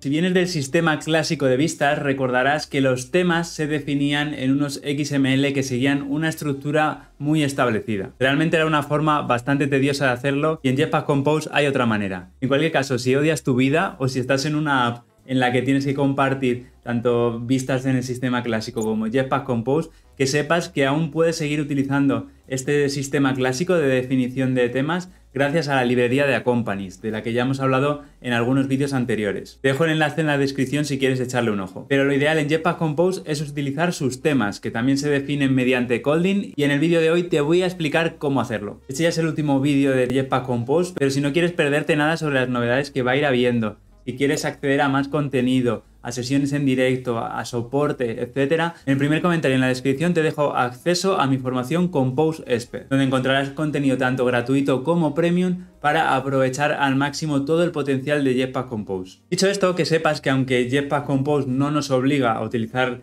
el sistema de diseño propio de Google, que es Material Design, sí que es verdad que eh, está implementado por defecto y por tanto si lo usas va a ser mucho más sencillo adaptarte y conseguir más resultados en menos tiempo. Material Design es el sistema de diseño creado por Google para poder adaptarnos a todos los tamaños de pantalla, a todos los dispositivos y llevan años trabajando sobre ello, así que puedes dar por seguro que va a funcionar muy bien en dispositivos móviles. En Jetpack Compose, gracias a unas pocas modificaciones que podemos hacer sobre los temas, todos los componentes de UI se van a actualizar, a adaptar para seguir la configuración de ese tema de forma muy rápida y sencilla. ¿Y cómo está estructurado el tema? ¿Cómo se configura? Vamos a verlo ahora mismo. Comparto pantalla y te lo muestro. Nada más crear un proyecto, en la carpeta de UI vamos a tener un paquete que se llama theme. Aquí es donde está toda la información sobre el tema. Tenemos el propio archivo theme, pero luego tenemos otro que se llama color, otro shape y otro type. Vamos a ir viendo cada uno de ellos de forma detenida porque cada uno configura ciertas partes del tema. Por hacer un repaso muy rápido, el theme es el lugar donde vive el tema. Un tema se compone del resto de componentes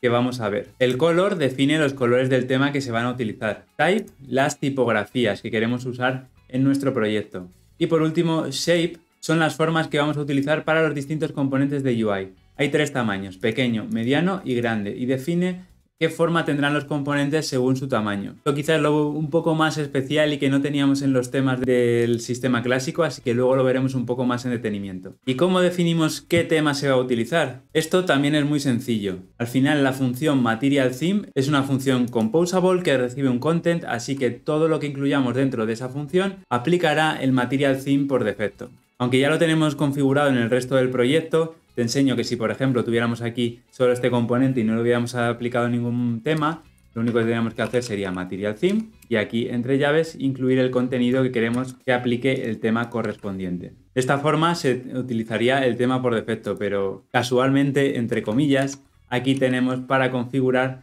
tanto los colores como la tipografía como las formas. Exactamente igual que los eh, archivos que habíamos visto que estaban definidos en el paquete de theme. Así que nosotros aquí podríamos hacer colors igual a light colors, vamos a poner, por poner un ejemplo. Luego veremos esto un poco más a fondo. En typography podríamos usar la tipografía que tenemos definida aquí en type, typography, que no nos la está importando bien porque se cree que es una función. Tampoco me voy a liar mucho con esto ahora mismo porque solo es para demostrarte pues, cómo se configuraría, ¿no? Pero como lo tenemos luego todo en el mismo paquete, va a ser mucho más sencillo. Con el shapes pasaría lo mismo, utilizaríamos el shapes, que está, este sí que nos lo deja coger bien, ahí. No sé por qué el de typography no lo coge. Sí, aquí lo tenemos. Con esto configuraríamos el tema. Pero quizás recuerdes que realmente cuando nosotros configuramos el proyecto, estábamos utilizando otro tema que tenemos aquí en My Movies App, que está utilizando todo el tiempo el movie, My Movies Theme y que está definido aquí donde hablábamos en theme.kt. En realidad, si te fijas, es tan sencillo como otro composable que luego llama dentro al material theme que hemos visto nosotros anteriormente y que hemos utilizado directamente. ¿Esto por qué es? Pues para que no tengas que definir cada vez que quieras utilizar el material theme todos los colores, toda la tipografía, etc. Es simplemente un wrapper que además hace una cosa un poco especial con, con los colores, que ahora vamos a ver. Por tanto, esto que hacíamos aquí de material theme, en realidad no haría falta, simplemente con hacer My Movies Theme sería suficiente. ¿Qué cosas especiales tiene este My Movies Theme? Pues por ejemplo, por un lado tiene que le podemos definir si estamos utilizando el tema claro o el tema oscuro. Y si no le decimos nada, coge el tema que se esté aplicando al dispositivo. Esto es interesante de ver directamente en el, dispositivo. Voy a revertir los cambios de la main activity para que no se líe ahí con el tema ese extra que he añadido. Y vamos a ejecutarlo.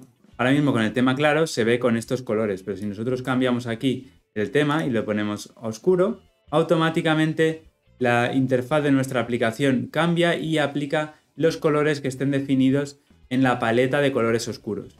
¿Y esto cómo se configura? En realidad es un sistema muy rudimentario, pero porque no se necesita más, es muy sencillo. Simplemente si el tema es negro utiliza la paleta de colores oscuros y si el tema es claro utiliza la paleta de colores claros. Y estos están definidos aquí. Los light colors y los dark colors, que nos permite definir un montón de colores, aquí solo se han sobrescrito tres, pero podríamos sobrescribir todos los que necesitemos, que son todos los que se aplican a los temas en Material Design. ¿Y por qué nos permite esta configuración por el constructor? Pues imagina que tuviéramos una setting en nuestra aplicación, un ajuste que nos permitiera definir el tema de forma manual, elegir si queremos el claro, el oscuro o ajustarnos al del sistema. Sería tan sencillo como pasarle ese argumento extra a esta función. Vale, antes he dicho muy por encima que tenemos todos estos colores para la paleta. De hecho, aquí si te fijas están comentados el resto que se podían modificar. El tema material define una serie de colores que luego se usan por defecto en los distintos componentes, según como definan las guías de estilo. Tenemos estos colores y en esta tabla se muestran los valores por defecto del tema de Material Design. Y estos son los que estábamos configurando nosotros en nuestro código, el primary, primary variant y secondary. Pero también tenemos secondary variant, el on primary, on secondary. Aquí se explica a fondo para qué funciona cada uno de estos colores, dónde se utilizan, en qué casos se usan habitualmente, etc. Importante mención tienen el color primary y el secondary. El primary es el que se va a utilizar más habitualmente, por ejemplo, se utiliza en la bar, en los componentes accionables como botones, switches, eh, checkboxes, etc. Luego tenemos el color secondary que se va a utilizar más para destacar ciertos elementos, como por ejemplo en el Floating Action Button, en las barras de progreso y algunos elementos extra. Esto puedes encontrar toda la información aquí, no hace falta que te lo aprendas de memoria, pero normalmente basta con configurarlos y dejar que el propio tema haga su trabajo. Luego también tenemos un primary variant y un secondary variant. El primary variant, por ejemplo, se utiliza para la status bar. El secondary variant lo podrías utilizar para otros elementos, para destacarlos de forma diferente al secondary. Y luego tenemos tanto el background como el surface. El background es el fondo de la aplicación y el surface el fondo de las superficies. Por ejemplo, cuando pintamos una tarjeta, el color de la tarjeta y elementos similares. Y luego, por supuesto, el error, pues para los mensajes de error tenemos este color. Para finalizar, tenemos todos estos colores, los on, que son los que se utilizan cuando se pinta sobre otro de los componentes que ya hemos definido. Por ejemplo, si tenemos un color primary, el color que se va a utilizar on primary va a ser el blanco. Si por ejemplo nuestra toolbar está utilizando este color primary, en el on primary, es decir, el texto de la toolbar, se pintará de color blanco. Si pintamos un texto encima de algo que sea secondary, va a utilizar el color negro un texto, un icono, etc. Y lo mismo para on background, on surface y on error. Esto se puede especificar tanto para los temas claros como para los oscuros. ¿Y dónde se definen estos colores que vemos aquí? Simplemente en el archivo de color.kt. Aquí definimos esos colores que vamos a utilizar en nuestro tema. Aquí hay muy pocos porque si te fijas solo estamos sobreescribiendo el primary, primary variant y el secondary y con esos eh, cuatro colores creo que eran, pues se aplica a todos los, los puntos. Pero podríamos crearnos aquí todos los colores que necesitemos para nuestra app. En cuanto a la tipografía, el tema te deja especificar distintos niveles o pesos de tipografía en función de para qué lo quieras utilizar dentro de la pantalla, qué funcionalidad tenga qué peso relativo quieres que tenga con respecto a otros elementos. Hay un gran número de estilos por defecto, algunos de los cuales Compose utilizará en los lugares en los que las guías de estilo definen. En esta tabla tenemos definidos todos los tipos de tipografía que tenemos, todos los que podemos configurar en el tema, además con sus valores por defecto. Si no los modificamos, estos son los que se usarán. Tenemos los headings muy al estilo de HTML desde el H1 hasta el H6, que sirven para los títulos de nuestra aplicación los elementos que queremos que se visualicen con más rotundidad, que tengan más peso dentro de nuestra aplicación. Luego tenemos dos subtitles que son los subtítulos que queremos que se muestren debajo de los títulos como información secundaria. Después el body 1 y el body 2 que son para el contenido ya más largo y más profundo donde queremos mostrar ya más información y por tanto se utilizará más para textos largos. Y por último, pues tenemos algunas fuentes para casos particulares. La fuente button, obviamente, aplica a los botones y caption y overline son las más pequeñas para poner o bien en los pies de foto o información sobre alguno de los títulos. El constructor Typography permite sobreescribir cualquiera de los estilos por defecto. Si nos vamos aquí, veremos que acepta todos los tipos de tipografías que hemos visto, además dándoles un valor por defecto que es el mismo que hemos visto en las guías de estilo. Si te fijas, se usa el mismo textile que expliqué en el vídeo de textos de Jetpack Compose. En las cards, si recuerdas, en el title estábamos utilizando H6, así que vamos a configurar este para modificarlo y que se vea de otra forma. Por ejemplo, nos vamos aquí a Type y le decimos H6 igual, definimos un textile y le vamos a decir que el font family es fontfamily.default. El font weight lo vamos a poner, por ejemplo, a extra bold para que se vea mucho más fuerte que antes. Font style le lo vamos a poner en cursiva con style.italic y font size lo vamos a agrandar un poco, le vamos a poner 25 SP. Sin nosotros tocar el código que habíamos escrito antes, vamos a ver que ahora la fuente cambia de tamaño, de forma, eh, se pone más en negrita, etc. Aquí lo veis. Si te fijas, este H6 también aplica a la toolbar y en la toolbar también se está modificando. Vamos a poner en tema claro y aquí lo vemos un poco mejor. Los títulos más en negrita, en cursiva, más grandes y lo mismo le ha pasado a la toolbar, porque por lo visto aquí en la toolbar también se está aplicando el H6. Aquí ya lo último que nos quedaría ver son las formas o shapes. Las formas son algo relativamente nuevo dentro del tema material que nos permite definir la forma estándar que van a tener los componentes de la UI, como por ejemplo las cards o los botones. Por defecto se usa una forma con los bordes ligeramente redondeados, como puedes ver en la imagen que te dejo por aquí. Se pueden definir tres formas para objetos pequeños, medianos y grandes. Y como seguramente no sabrás en cuál de los grupos cae cada uno de los componentes de UI, también te voy a dejar en la descripción un enlace al listado de componentes y en qué categoría caen. Las formas por defecto las encuentras en el archivo shape y si te fijan ya tiene unos valores por defecto. Para los elementos pequeños como puede ser un botón tiene el borde de 4dp, para los medianos como pueden ser las cards también de 4dp y para elementos más grandes ya no tienen ninguna forma, es decir, no se le da un borde redondeado. Podemos poner ejemplo, modificar este, 8DP, y veremos que las tarjetas cambian cuando recarguemos la aplicación. Esto con Rounded Corner Shape es muy sencillo, pero imagínate que en vez de tener los bordes redondeados, los queremos tener cortados, algo muy característico del tema Material en las últimas versiones. Lo que podemos hacer es, en vez de utilizar Rounded Corner Shape, podemos utilizar cut corner shape. Todo lo demás es exactamente igual. Si ahora volvemos a ejecutar, veremos que tenemos aquí los bordes cortados en vez de redondeados. Lo podemos poner a 16 para que se haga todavía más evidente. Ahí lo tienes. Y aquí acaba el repaso sobre las configuraciones que tenemos sobre el tema. Como ves es mucho más sencillo que con XML y hay algunas cosas que no se pueden hacer como crear estilos reutilizables. Pero eso no es mayor problema porque gracias a Colding podemos extraer esos componentes con la configuración que queramos y reutilizarlos donde necesitemos. Si te quedan dudas sobre cómo utilizar los temas o cómo solucionar alguna situación particular, no dudes en dejarme un comentario y le daré una vuelta a ver si creo un nuevo vídeo sobre ello. Por el momento lo dejamos aquí con el curso de Jetpack Compose, pero si quieres acceder a la parte gratuita de Compose Expert, no tienes más que irte al primer comentario o a la descripción para aprovechar todo ese contenido extra que vas a encontrar.